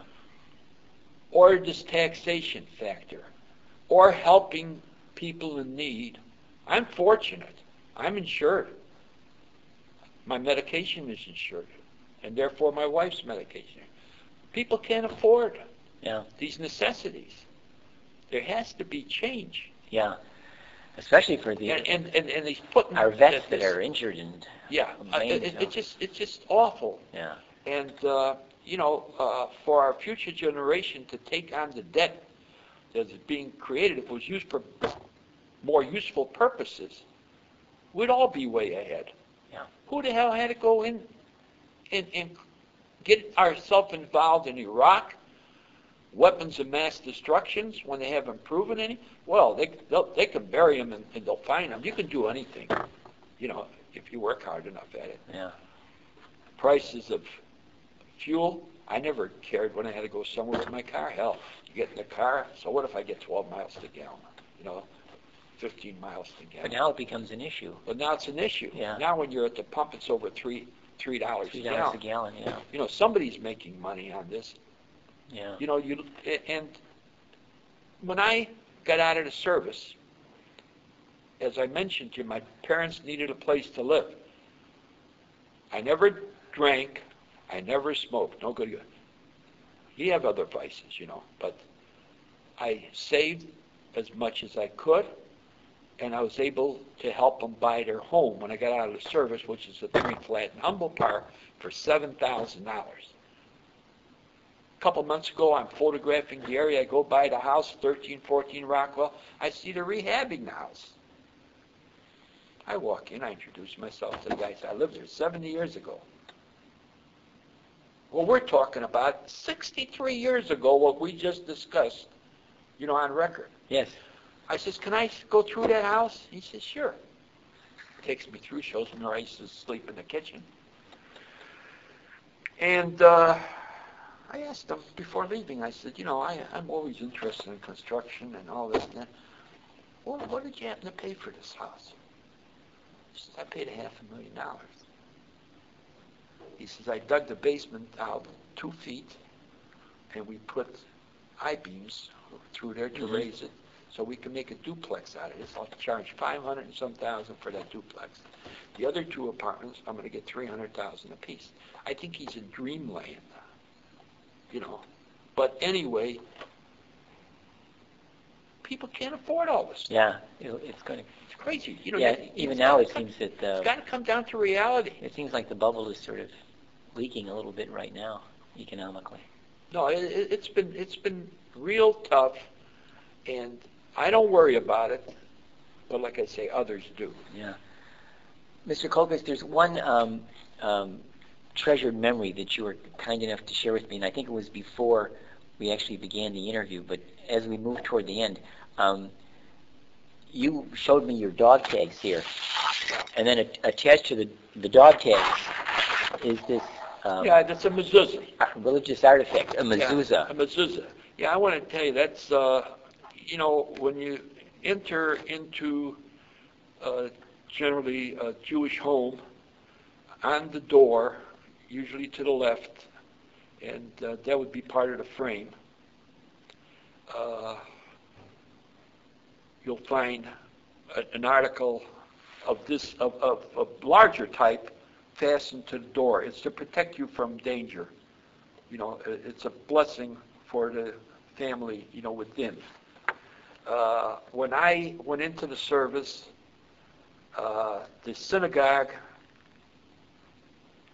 that my parents belonged to sent this to me, you know, as a keepsake. And I attached it, you know, to my dog tags, figuring, you know, anything that helps is welcome, you know. And as I said to you, I noticed when I got out of the water and got up onto shore that that little oval capsule was missing. Well, the parchment that's in there, I just didn't want it to leave, so I crimped it with my teeth. And I've had it ever since. Now, I haven't used this for many, many years, but I said if I'm coming here to meet with you today, I think that would be something interesting, you know, to bring along with me. Yeah, it surely is, and uh, I'm very appreciative that you shared so much with us this afternoon. Well, it's my, uh, You did your outline and Yeah, related documents and yeah. the pictures. It's going to be a wonderful yeah. transcript when we get this all well, I, yeah. I appreciate your help, and I'll, I'll, I, I should try and offer more help. I know that tomorrow there's a meeting in Niles on Thursday for the veteran group. Over, Mr. Yeah. Friedman? Right. Yeah. Yeah, I, I go there. Uh, I've been coming to these, ex, you know, exchanging thoughts and things of that nature. And, you know, everyone has, you know, their differences of opinion. Uh, I'm not going to be here for, forever. I feel that the future generations should know what their forefathers went through, and I feel that this is a good thing to have for reference sake and for, for them to look at. Uh, a lot of these people today, and I've spoken to, don't believe what has happened. I could sit here and tell you stories that are so help me true that you wouldn't believe. And it's all close to home. And they're true. But I just don't want to talk about them. You know? Well, you you shared I shared a a lot, with you. I shared and a lot that's a beautiful, you. beautiful closing I- I- statement yeah, about no. the value of the project. Yeah, Thank I, you. no, I tell you, I, I, I uh, so maybe, maybe I'm wrong, maybe I'm right, maybe I'm wrong, but all is not known because of reason. But even being of the Jewish faith, and through circles, I can just mention to you that I have met people and know them that have served not only under Hitler, but for Hitler in his headquarters. And, you know, this is almost unbelievable. And when it comes to certain details, no one wants to talk about it. But this is exactly how I found out what happened to my uncle, aunt, and their kids that lived in the same unit of housing by the flax factory in Rokiškis, Lithuania, because one of the officers that was involved in this thing in the German army back in the early 40s, I actually traced him to where he lived in the Chicago area. And when I reported him to the federal uh, uh, department, he had already left the States because he retired working for the railroad and he took off for, for Europe with his wife. Uh, just missed him by a hair. Uh, followed him till he got to where he was. And he told me that his, when I asked him what his function was in the German army, his, he answered me that he knew, he, see, he, he knew my uncle and aunt and the kids. He was a mailman for the German forces, see, and he delivered mail to them. Now, could you believe talking to someone like that? Unbelievable. Unbelievable. What what could I do to him? I mean, you know, you, you do anything, you're in trouble. But Well, he was German or Lithuanian, this man? the this man was this man was German. He was German. Yeah, this man was German. I, like I say, I have a lot of friends of the German faith. Have nothing, you know, as I told you, you can be born of anything. Yeah. But uh, the the things a person, if he lives long enough.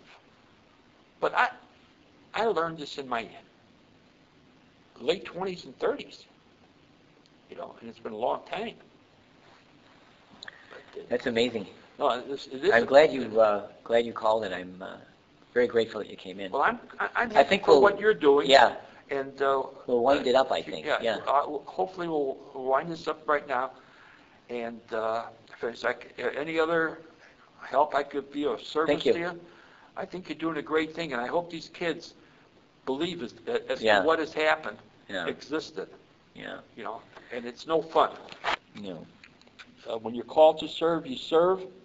And I was glad to serve my country. I did what they asked, and that was it.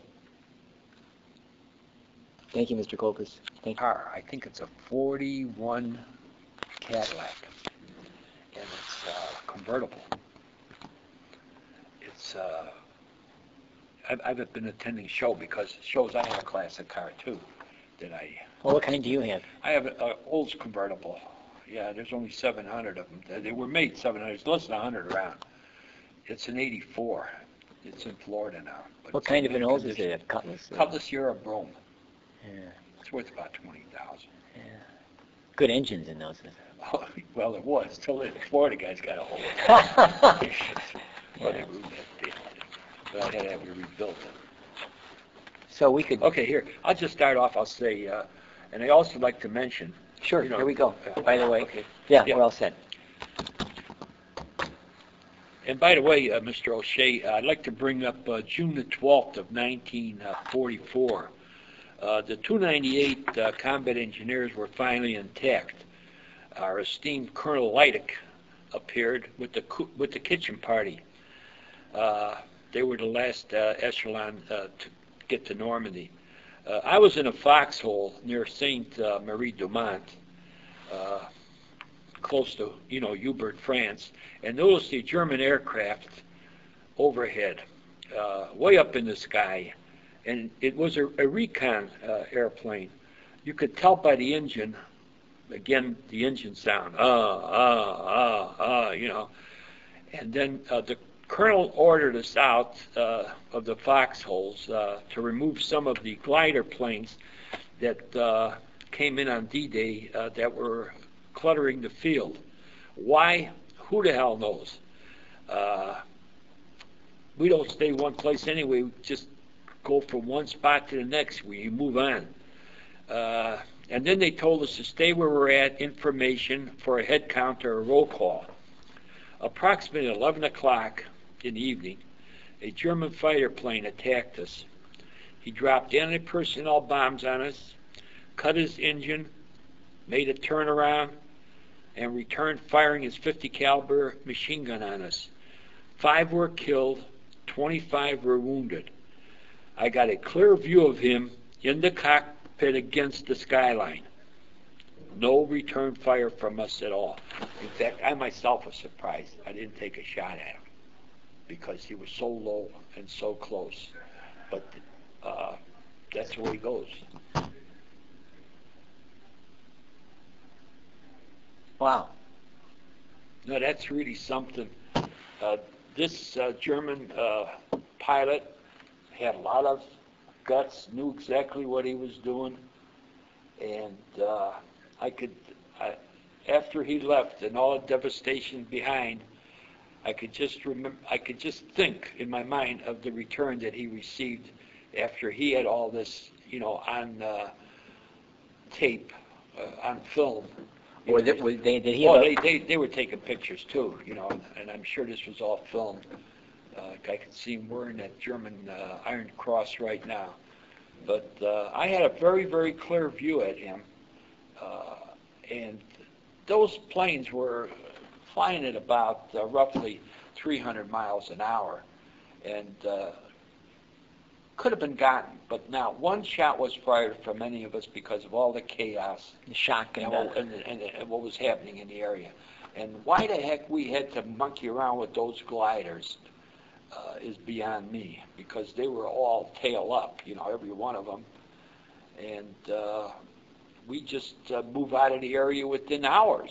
So uh, let whatever lies be there, you know. It, it really makes no sense to me. But that's a lieutenant colonel for you. is that the esteemed Lieutenant Colonel? The esteemed Lieutenant, Lieutenant Colonel Leidig, yeah, Colonel Leidig.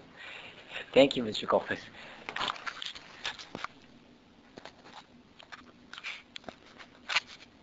Okay.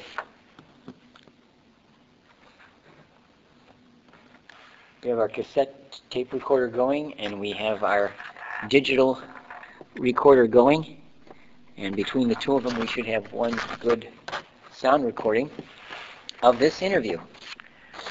Uh, this Veterans History Project interview is being conducted on August the 15th, 2007 here at the Niles Public Library.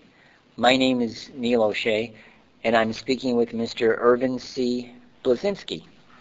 Uh, Mr. Blazinski was born in Chicago, and he now lives here uh, in the community of Niles, and he has kindly consented to be interviewed for this project here at his local library.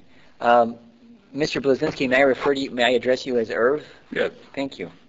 Um, so if we can turn back the hands of time, as it were, go back now. Um, when did you enter uh, ser- the military service? in 42. In 42. Yeah. And did you enlist or were you drafted? No, I enlisted in the Coast Guard. And um, why did you choose the Coast Guard? Uh, well, I originally wanted to go into the Marines, but I wore glasses, and they wouldn't accept me. So they told me that the uh, the uh, Coast Guard was waiving the glasses, so that's how I joined the Coast Guard. And had you worn glasses in school? And w- Yeah. since you were young, Yeah. much mhm. younger. Yeah. What what high school did you attend, if I may ask? DePaul Academy. Oh, the academy. yeah. Yeah, down there in Sheffield and Belden. or- Kenmore. Kenmore. Yeah, yeah, hmm yeah. The um, so were you living down in that uh, Link, North Lincoln Park neighborhood at that time? Not then? really. Uh, I I lived in um, uh, Ashland, and North Avenue. That's where I was born and raised. Yeah. Had any of your had anybody in your family served in the First World War? No, not that I know of. Yeah. So a lot of your um, a lot of your friends did they also enlist or Oh yes, there was quite a few. you didn't wait, you just enlisted? Yeah. Yeah. Yeah. Were you I think you mentioned that you were 20 years of age when you entered uh, the Coast Guard. Yeah. So you had been out of high school for a couple of years then, maybe. Yeah, Is that right? right. What were you doing uh, after high Uh, school? I was working in, in a factory, and I wasn't very happy with it, you know, and uh, I was glad to to, to leave. Did your did the people at home at your in in your house did did they think it was a good idea you were enlisting in the Oh, service? yes, Did they? Yeah. hmm And you weren't worried or anything like that or No. fearful? No. I was worried that they wouldn't take me. You wanted to get in there. That's the attitude of the people at that time. Yeah. And then um, where did you uh, did you have to go to Fort Sheridan or where was the where were you inducted? I, I, I, um, I went downtown to the train station, and they took me to Manhattan, Manhattan, New York. Well, they called it Manhattan Beach. That was a training station for the Coast Guard. That's where I started. Yeah. The um, so was that the first time you had been outside the city of Chicago? I suppose, yes. That must have been pretty exciting taking a Oh, train to. New York. Yeah, but you know how long that train took? No. We said, like, oh, it was a, uh, well, it, it was a long ride, you know, because the the, the, the all the uh, freight trains and everything were priority to us, you know. So it took a while. So in the uh, in the Coast Guard, do you go through some kind of basic training? Oh yeah, basic, yeah. And uh, And that was in New York or Manhattan Beach. Is that where the basic training yeah. was? I was so homesick. If you look at the date that I went in, I went in 12-17, Oh yeah. a week before Christmas. And uh, in fact, I met uh, I met my um friend in Manhattan Beach, and I was so happy to see him. And he says, "I'm shipping out today, Oh. the first day." So Was that a buddy from the old neighborhood or from He school? lives right here. Oh, Uh, and- ano- yeah. Another one. Mm. Uh, there's two two fellows that are uh, that uh, were in the Coast Guard that live here in Niles. So basic training for the Coast Guard is that done on a ship or is it done on land? I'm la- well.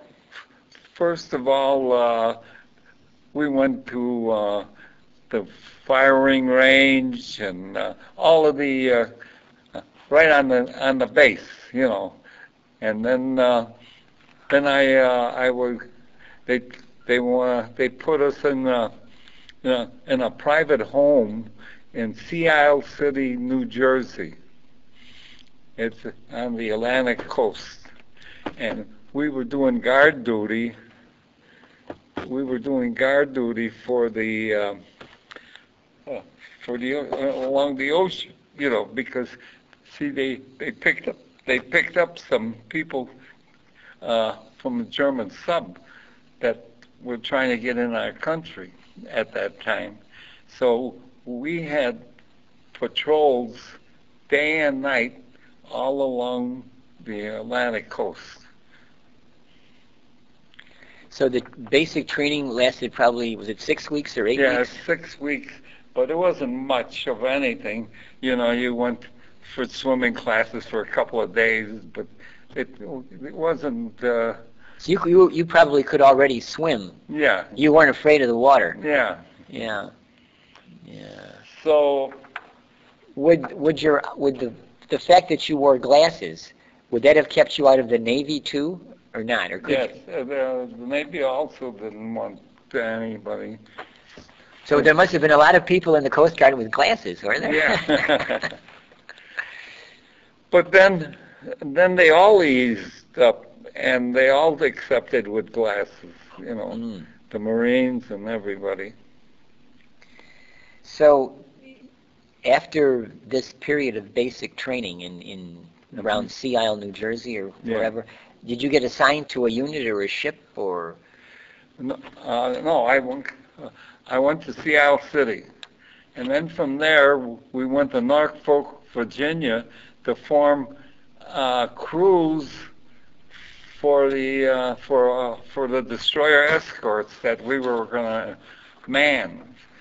See, we we owned uh, we the Coast Guard didn't own any ships, uh, not that that type of ship.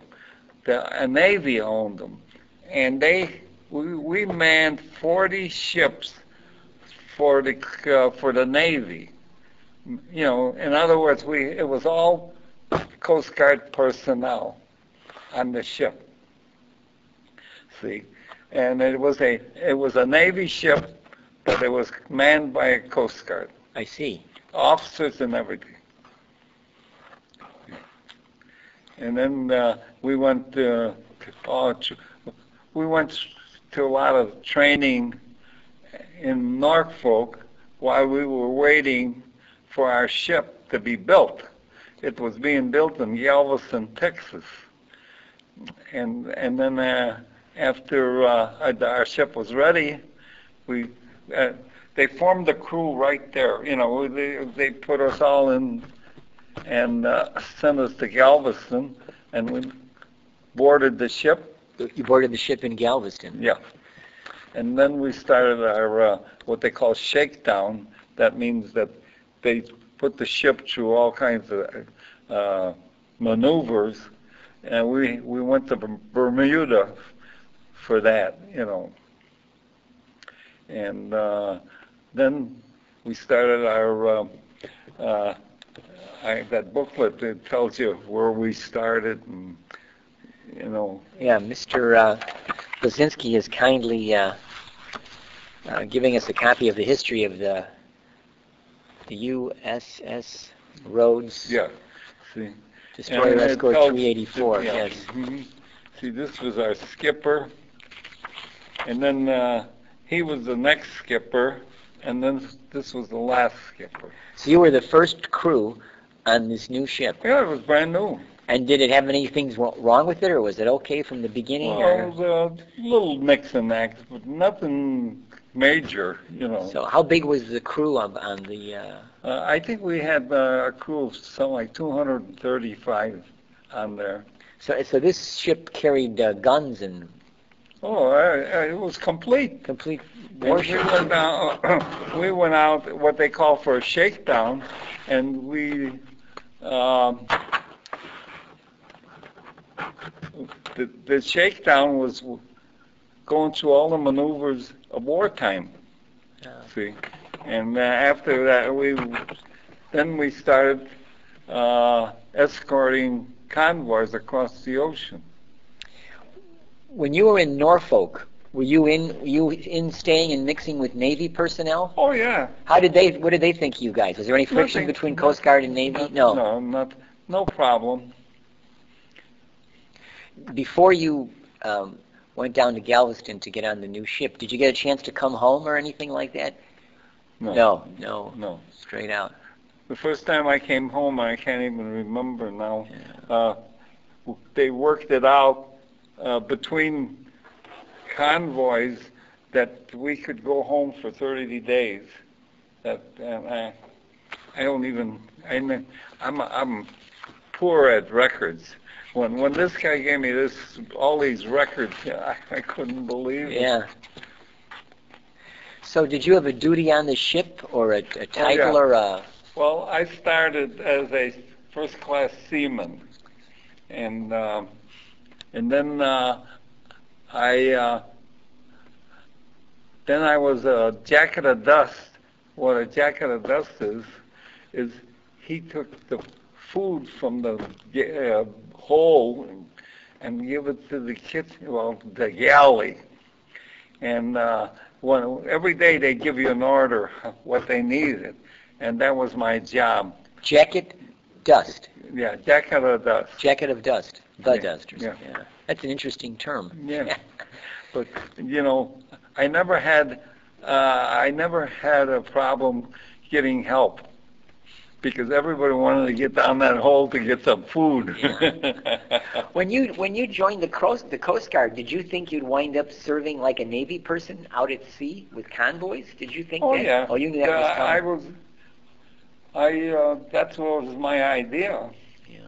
So you're uh, you join up in um, December of '42, Yeah. and then when do you go out to sea? Then uh, Well, uh, you know, I, I don't really have, um, yeah, see the, let's see, uh,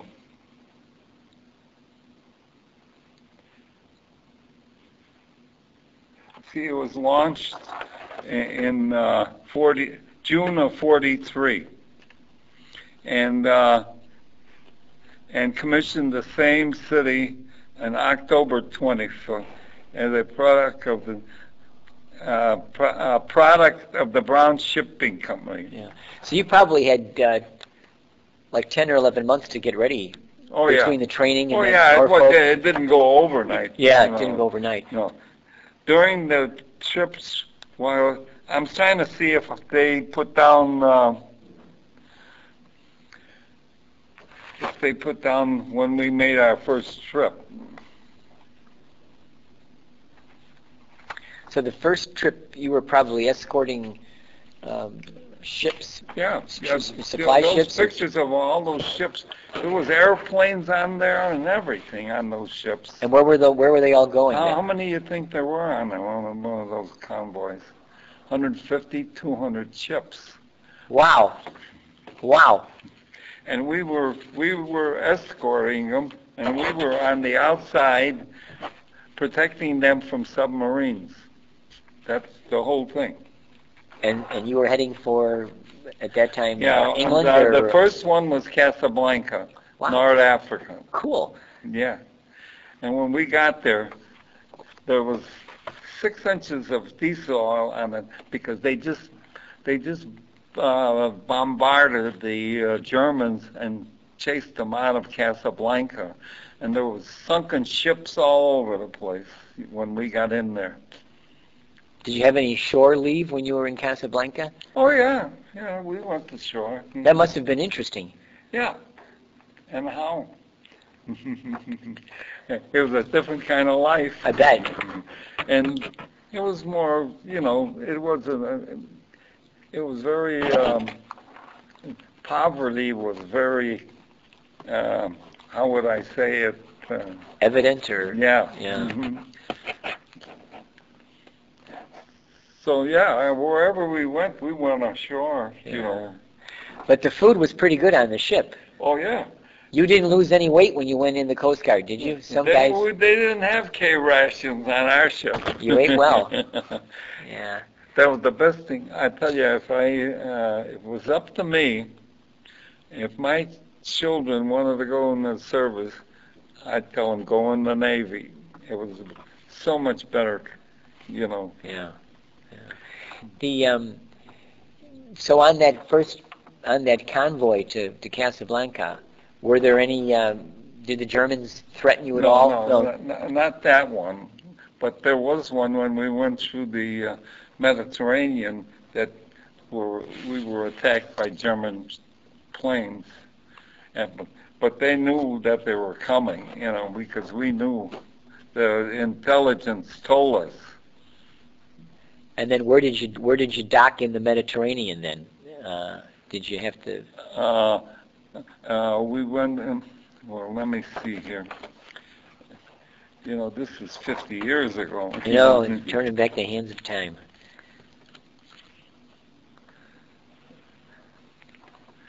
Well, this is, here.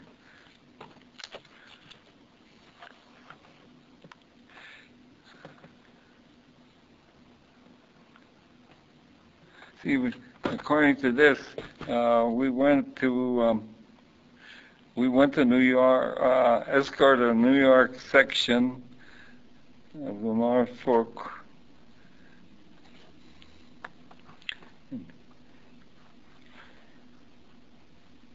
Oh, we had four anti-submarine attacks on that uh, tour. You know, I mean that uh, when we were taking those ships across.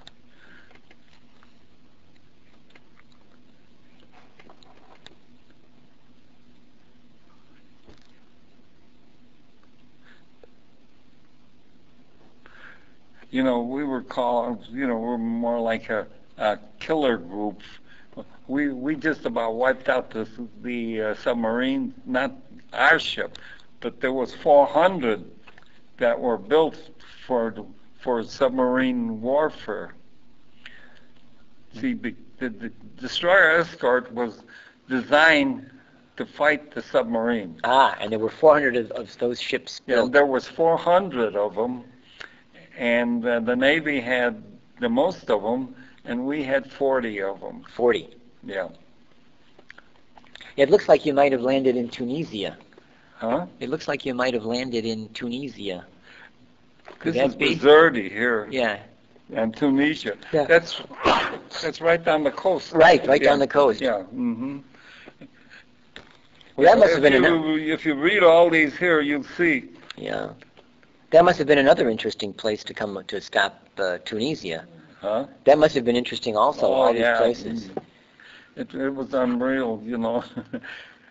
I'll tell you a story. We were going into town, and I, I don't remember because we went to Africa a couple of times, you know. So, and um, we were, were wanting to go in town, so we went on a on the highway, and we were hitching a ride, and uh, a a big truck, uh, like an army truck, you know, with uh, personnel on there in the back, you know, and and these were all these big.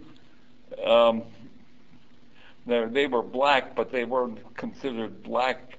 They were uh, from Africa. These guys were twice our size, you know, and and they were so gentle to us it wasn't funny. so. Uh, if you if you read all this here, you'll get a good idea. Yeah, I think that would be very helpful if we add that chronology to the uh, to your remarks. Yes. Mhm. And then I see that you might have even gone up to Ireland. Did you? You Oh yeah, Northern Ireland. You know what happened? We went to Ireland. We escorted a uh, a um, a uh, aircraft carrier, and uh, actually we were going to Wales, Oh yes. and and uh, the right at the buoy there was a submarine sitting there, and when we, our- our orders were just to bring it to the buoy and then go go back to where we were coming from, and uh, it, a tor- it, tor- it hit uh, a torpedo hit it from that submarine. But uh, I don't know what happened because we, we our orders was not to go back. You know. So the torpedo hit the aircraft carrier. Yeah Oh. and they said, "Don't worry, there was there was no damage," you know. So the, the aircraft carrier went into Wales. I'd have to read this whole thing to remind myself of all this, you know. But You were you everywhere. get a You were everywhere. Oh Yeah. yeah, you were up in Londonderry. Yeah. Yeah. You probably that's. Oh, uh, that's beautiful there. Oh, you know, you, you, you know, it was in the middle of winter, and you pulled alongside, and, and I don't remember, but the whole side of the mountain was green, and the other side was snow. yeah, this thing tells a lot of stories. Yeah, it's, it's very it's jam packed with uh, with You know, details. this- and you were in all these places. That's amazing. Did you ever any, did you ever get seasick? Did you have any trouble adjusting to? well, a little bit. woozy, you know, and that. But there were some people that they had to take off the ship. That's how bad they were. As soon as they, as soon as they say lift the anchor, these guys would be sick as the dogs. Yeah. They were fine when we were in port. And then, if they, if you got the word that there was a German plane or something, did did everybody have to Everybody, get a gun or something? or- everybody turns to uh, with the uh, um, with the uh, guns. You know, like I was on the. Uh, I'll, I'll, um, let me see if I got a picture here. Uh, I was on the number two gun. the number two gun. hmm That was in. I, I should give you a better picture of our ship. You know. Yeah, we'll have to get a, a picture of the of the See, Rhodes this, for this the one here. for the transcript. This is transferring a doctor from one ship to another in a, you know, uh, on a buoy. You know, do you, do you ever see one of these buoys? They Not cross like a that. line across. Oh right, yeah. Yeah. Oh right. This then they was run a- at sea. Yeah, it'd be hard to transfer personnel at sea from one ship to another, right? Right. So the easy, Mhm. I, yeah.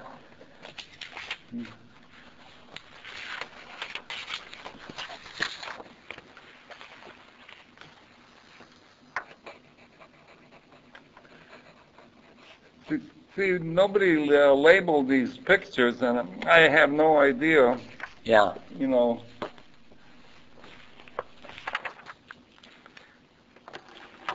I have a nice picture of our ship. I, I, I, I I'll give it to you. Yeah, we'll make a copy of it. Mm-hmm. I didn't bring one with me, but you, uh, when uh, you say you're going to be gone for a week. Yeah. Okay, then I, in the meantime I'll be working on it, Okay. and then I'll call you. Thank you. So did you? It says the crew was granted liberty in Londonderry, Northern Ireland. Did you? Did you go ashore then in Oh, Derry? yeah. Did you enjoy? So you enjoyed that? And uh, we had the fish and chips. You- Yeah. You know, people were walking down the street eating fish and chips. Yeah. You know, it's just like a McDonald's here. Yeah. You know, but everybody, oh, their their their potatoes are great. You know, it's, I don't know why they are so famous. I guess it must be the soil. Mm-hmm. Yeah. Lovely Derry on the banks of the Foyle. Yeah. And then you mentioned that it's uh, in here. It, it was a terrible uh, full gale winds and tremendous seas. Were you, were you frightened then? Oh yeah, because the the uh, the swells of the ocean were going over the ship, and we didn't. And we were in the English Channel, and, and we didn't think we were going to get out of it. That's how bad it was. I'm I'm surprised that the ships didn't break in half. You know that that ocean was so bad. So then, it as things are winding down in Europe, um, you head back toward the United States, right? Yeah. But then you got another half the world to go to, right? Because Yeah, then you we go. went. Uh, we went um, to. We went through the English Channel to go to the uh, Pacific. You know, uh, uh, does it say in there? It says you were down in Guantanamo Bay in Cuba. Huh? You were visited Guantanamo Bay in well, Cuba. that was that was when we were uh, when we got a brand new ship and we were um, we were uh, what shakedown cruise. In other words, we were testing the ship. Was it was this was the new ship also the Rhodes? Was also Yeah. Uh-huh. Why did they change the ship? Was, was it damaged or they just No, what, what do you mean change? when you said you got the new ship? No, no. When we first got the ship out of the shipyard, Then oh we went to Bermuda and Guantanamo Bay as a cruise, you know, and we were doing all kinds of uh, of um, uh, of exercises. yeah You know, then they had planes flying over, and and they had the sleeve. You know, did you ever see one of those sleeves? And then you were you sh- were shooting at sleeve. You know. oh it pulls it through the air. Yeah. I yes It was it was just uh, exercise to get us used to yeah. firing those guns. Yeah. Well then when you went to the Pacific, did you go back down there past Cuba to the Panama Canal and then out into the Pacific Ocean to No, get to not China? that I know of. Let- No. Let me see what, if there's anything in here. Yeah. I just wonder how you got over into China. Well, well, yeah, we, first we went to the Aleutians. We were in the Aleutians for a while. And we were doing what they call plane guard duty. And uh, because they were bombarding Japan and uh, those planes knocked down, and then our job was to get the pilots out of the water. Uh, I'm trying to see. Oh. Hold on. This is uh, this is when we were coming back. Oh, here. All right. Yeah, March of 45, you leave uh, Yeah. Southampton, England. I'm trying to find out when we went into the. Uh, see, here we went to Wales. Oh, yes, Cardiff. Mhm. Yeah.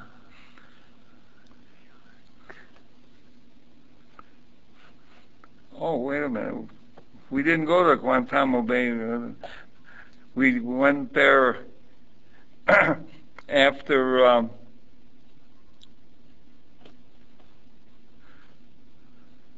Yeah, perhaps you went by there on the way to the Panama Canal. yeah. I'm I'm I'm trying to figure out when we went to Guantanamo Bay. Yeah, they got a date here of, uh, yeah, June 45. That yeah, was almost the war was almost over. right. hmm That's why it sounds like they're they're redeploying people from the Atlantic to the Pacific or something. We we were playing. Uh,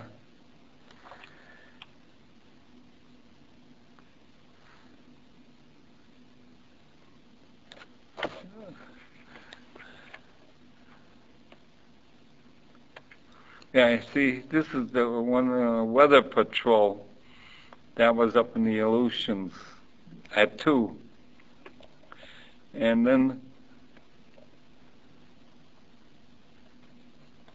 you know here they don't tell this in there, but we anchored in Hinchinbrook Isle in Alaska, and we were, you know, that's when MacArthur flew from Washington to to Tokyo to sign the papers for the signing of the, and you know they had ships all along. If anything happened to his plane, there was a ship there in the water.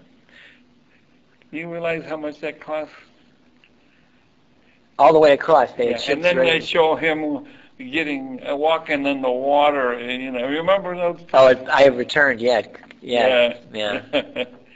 and and I I talked to some people that were there, and they said that he didn't have to get in the water. you know, I mean. Yeah, it seemed like he had an eye for uh, Oh, a the good camera. photograph. Yeah, Yeah. yeah. he knew how well it would play. Yeah. And see, in 1946, we came back through the Panama and went to uh, Charleston, South Carolina, and then departed St. Thing. That's when I got off the ship because they were going to put it in mothballs. Know, what they meant by mothballs, storing it, you know. That, that was, uh, when we got to Charleston, that was the last of the ship. That was in 46.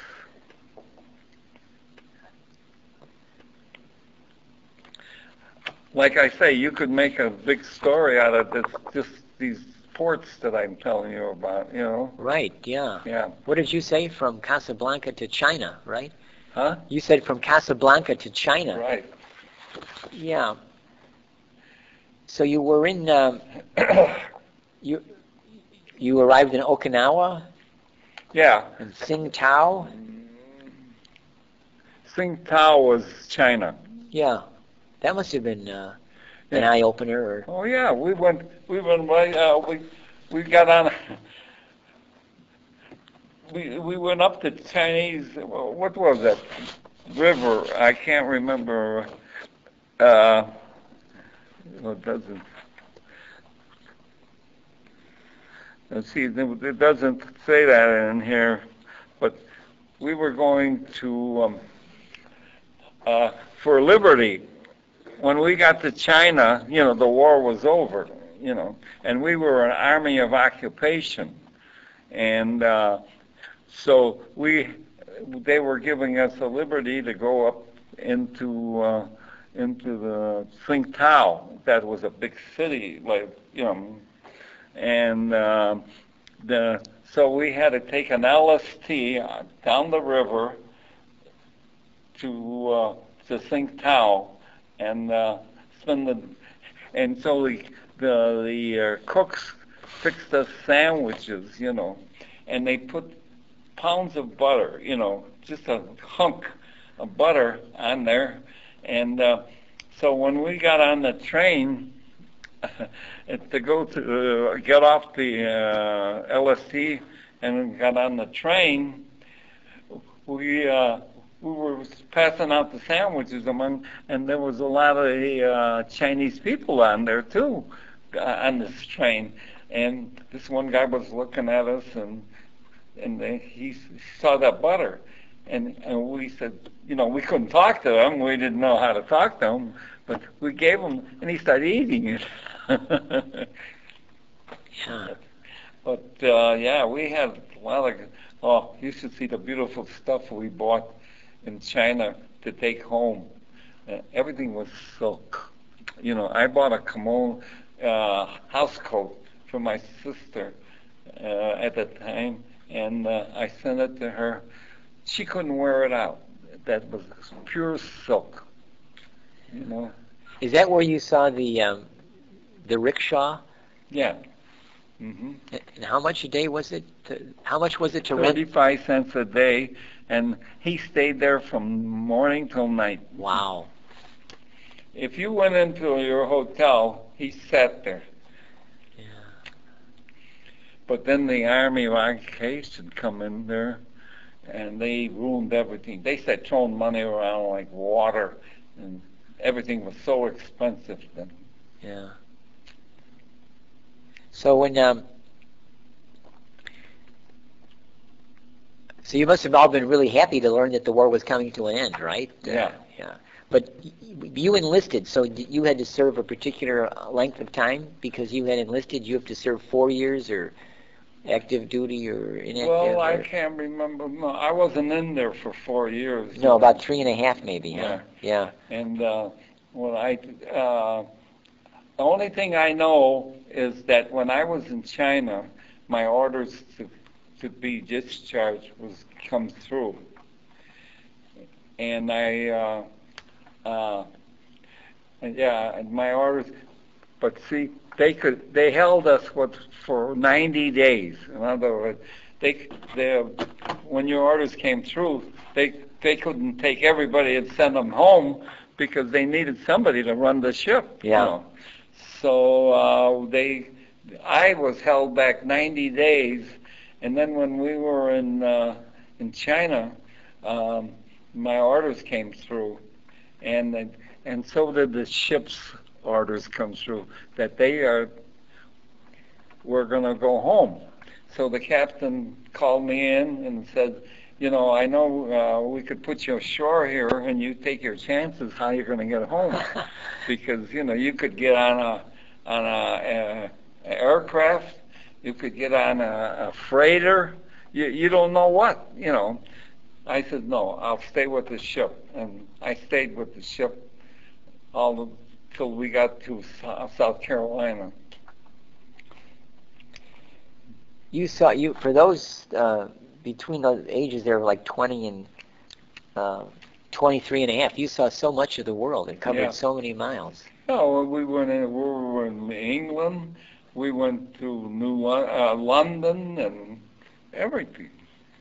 It was it must have been a wonderful experience. Yeah. You know, like one guy said to me, he says it's a wonderful experience, but I wouldn't do it again. Is that right? Were there any uh, very funny moments you remember, or uh, Well- any memorable experiences that? there was a lot of funny things, but I can't. Yeah, um, yeah.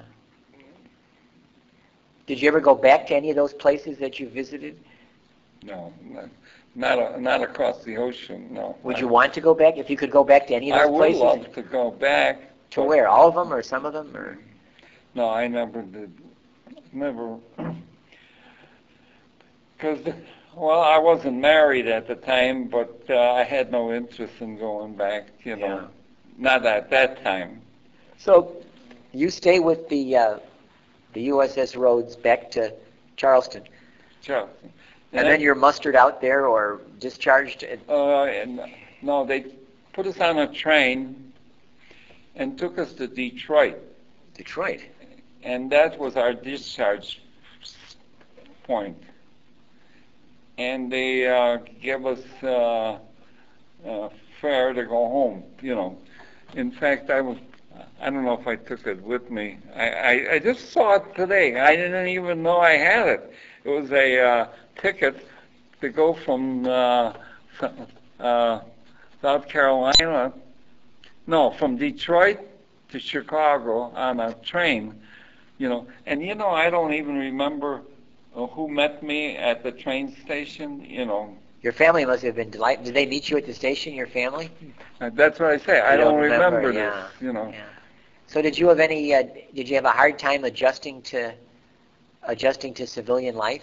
not really. No, mm I, uh, I, I, I, I was electrician, you know, for 40 years, and uh, I, uh, I was just lucky to uh, get get started in that. And uh, I went to apprentice school and everything, you know, and So you didn't have too hard. Too, it wasn't that difficult to find employment then after the war, or was it a little hard to get a job? Well, you know, they told me that I should go back to my old job, Right. you know, and then they were they they gave me something like three or four weeks vacation that was uh, I was entitled to. So I went there, and I got the four weeks, and then I quit. And my father was in the trucking business, and he gave me a job on one of the trucks, and I didn't like it. I said, "Not this is not for me." So, uh, so then uh, I was I was in between going to, to school for to be a salesman because uh, I went to back to DePaul, and I wanted to know if I could continue my studying, you know, and uh, and then they suggested that I go into some company, you know, some company that has a sales program that trains you to be salesman, and and so uh, my uncle was big in the meat packing company, and Wilson and Company. I don't know if you ever heard of them. Well, they uh, were a big meat packing company, and they had a program going. So it was either be me being an electrician or a salesman for uh, meat packing, and uh, I finally decided I wanted the electrician's job. So that that's what I did. So did you um, did you stay in, con- in in did you stay in contact with some of your friends from the Coast Guard, some of your oh, buddies? Oh yeah, hmm and I, you know, I had the, we, we had twelve reunions, and you know, I I I start, you know how I started? I met this fellow Galassi. Now, Mr. Galassi, it turns out Yeah, he lives in Niles. Yeah.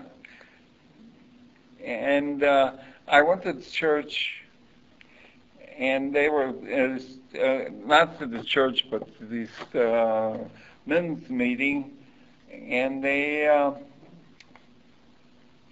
and and they uh, were discussing uh, reunions, you know, between. You know, there were those tables, you know, and Surely. and uh, I didn't know him. I didn't know Galassi. I knew this other fellow that was on another ship.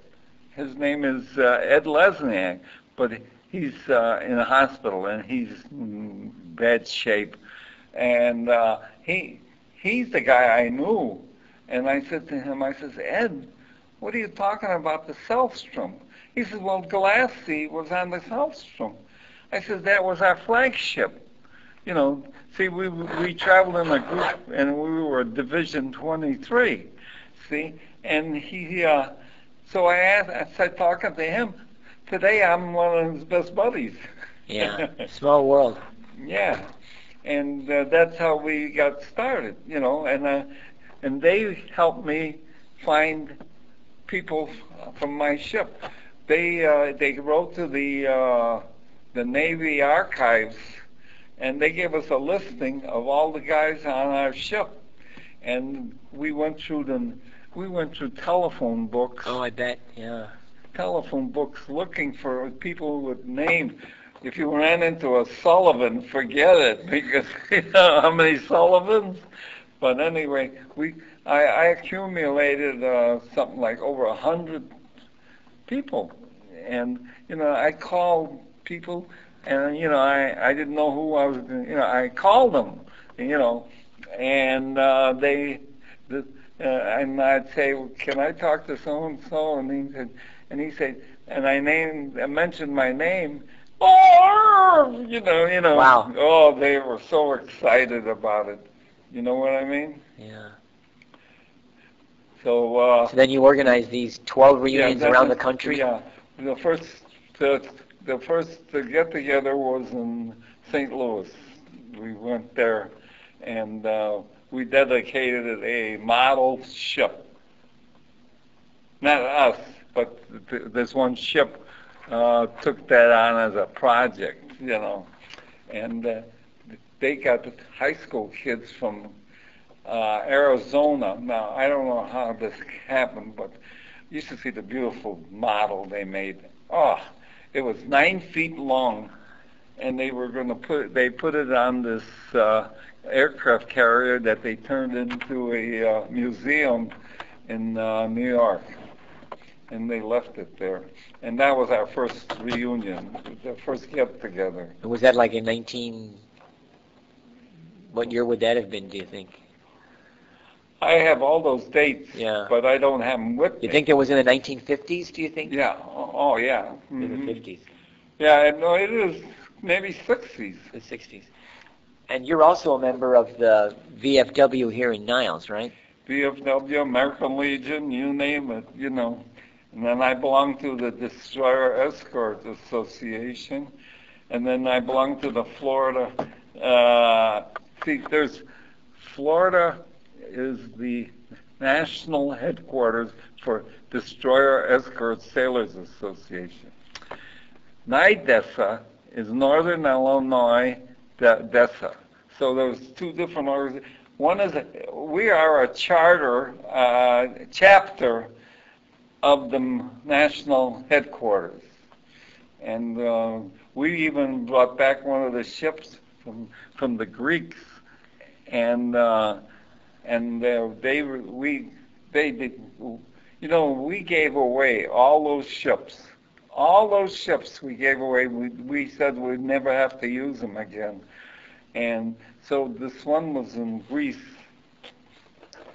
and they told it. They towed it back to the to this country, and and uh, I'll, I'll give you uh, one of their newspapers and show you what they're they're doing with the uh, with the they overhauled it. They got parts from all these companies free and they're all they needed was people to do it, and that's the big thing. It cost us a million dollars to tow that thing from uh, from Greece. And that's down in Florida now? No, it's in it's in uh, New York? Buffalo, New Oh, York. Buffalo, New York. It's it's uh, it's it's a museum there now, and uh, they get people going there every year, volunteer to work there for a week, three days, paint, and they're painting, doing everything for the ship. See, because the government doesn't give us anything. The um, how do you think um, your your service in the military affected your your life or your outlook on life? I don't think it had any effect on me at all. Not at all. Because I didn't follow up anything that uh, from the service, you know. because I I actually I actually was uh, I was in the radio room of our ship, and it I uh, I was what they call a uh, radioman striker. Is that what you did most of the time? Yeah. So you weren't always the um, Jacket. Uh, that was a very short. short time. Most of the time you were Uh, radio. They, uh, they radio. give a striker in the radio room. What they mean is is like an apprentice in the radio room, and uh, I uh, what I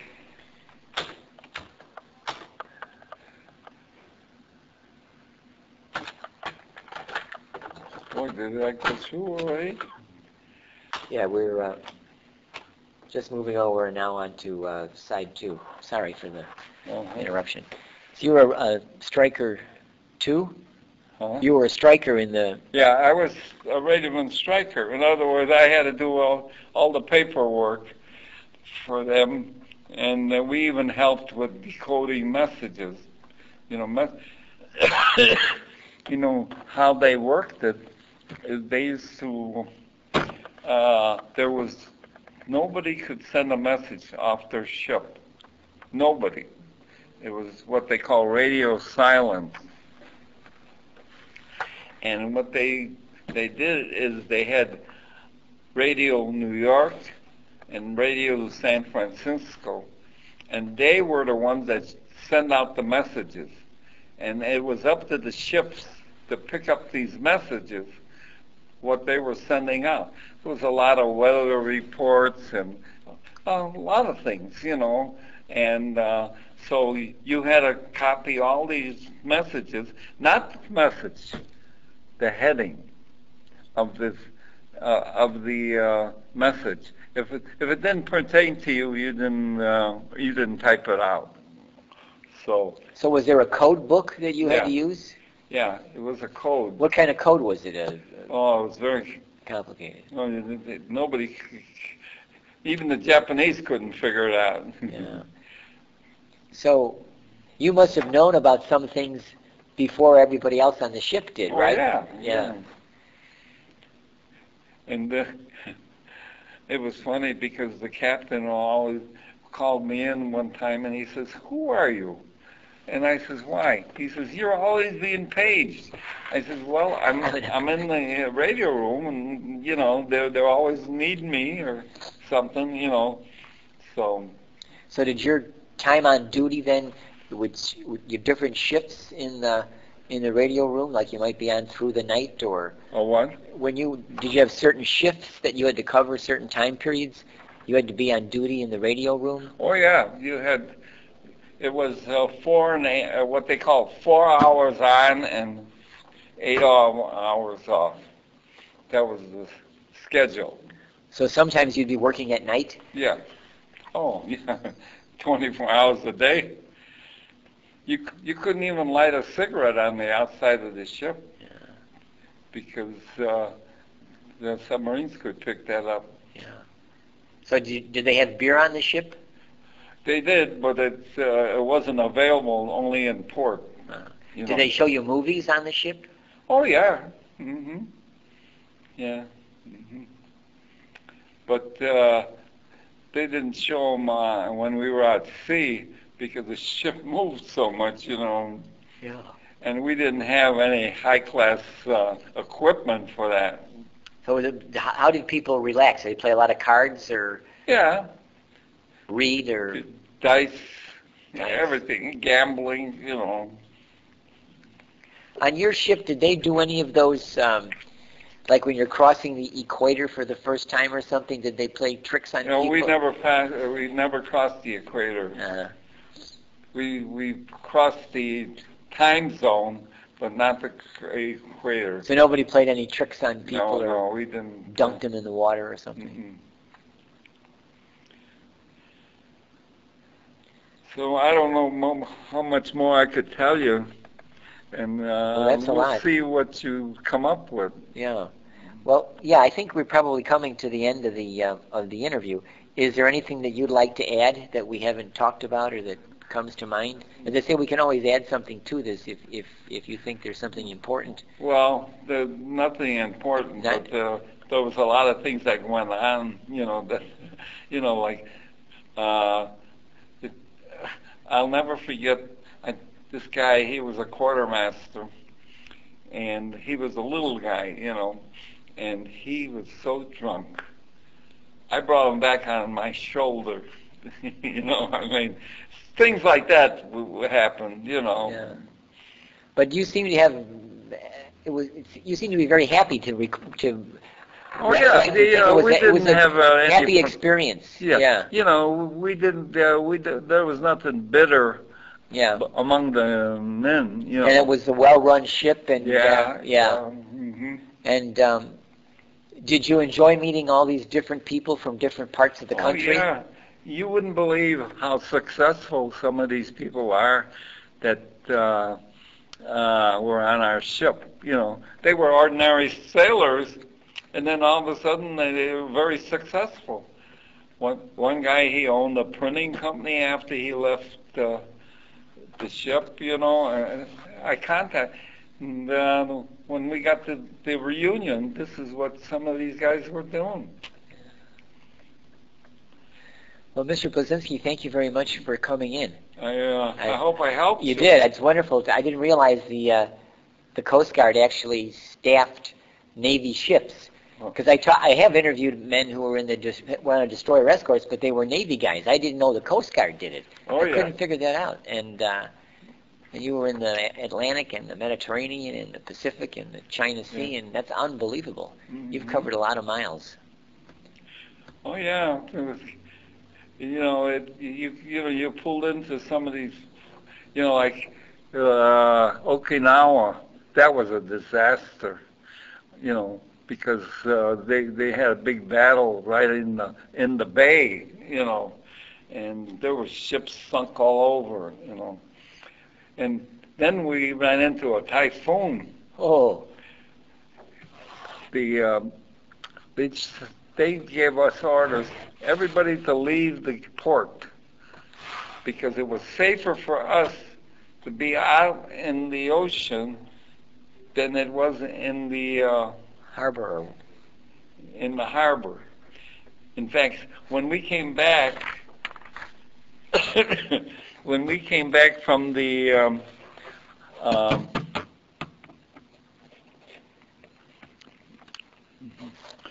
when we when uh, they send us out uh, out of the port, uh, harbor, we went out, and uh, after the storm uh, passed by, we came back in. There were some of these big freighters, you know, like you see pictures, were turned over from the typhoon. Wow. hmm Yeah. Mr. Blazinski, you said something um, that when you were discharged, they gave you an interesting physical. Yeah. What was that? I, I said, you know what I told you that they lined us up.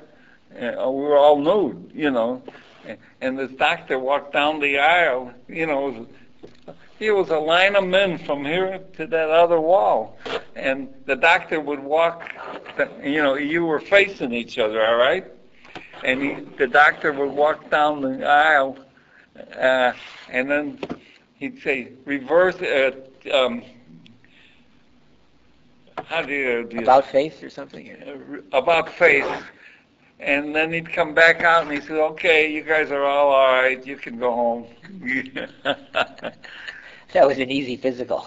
Yeah. I wanted to tell you one more thing, and make, uh, you interrupted me now. I forgot uh, about this. You know, I can't think of it now. Okinawa and the freighters and the typhoon. Oh, yeah, this is a real touching story. Um, we pulled into Okinawa, see, and uh, this one of the fellows on our ship's brother was on Okinawa, and he asked the captain if he could go ashore and uh, and see if he can find his brother. He did. He brought him back to the ship and uh, so the, the captain says, well, what would you like to eat? He says, what do you mean? He's been on K rations for all these months, or I don't know. And uh, so, you know, we had fresh eggs and we had, you know, I mean, we lived like kings compared to them. And uh, we made them, I think, breakfast or something, I don't know, with egg, fresh eggs and milk and everything, you know.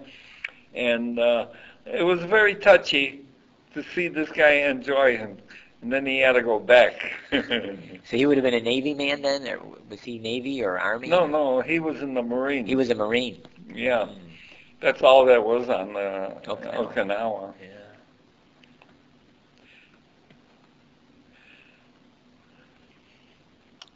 So uh, I, what I'll do is I'll see if I can find some. Uh, you want this picture, right? Yeah, if, I, I, I think I'll stop the tape recorder now and say thank you. And then I'll go upstairs and I'll scan this and I'll make some photocopies. If you want this picture of the rickshaw? Oh, I want to scan that, yeah, mm-hmm. if I may. So I'm going to turn off the recording now. Yeah. Thank you, sir. Okay.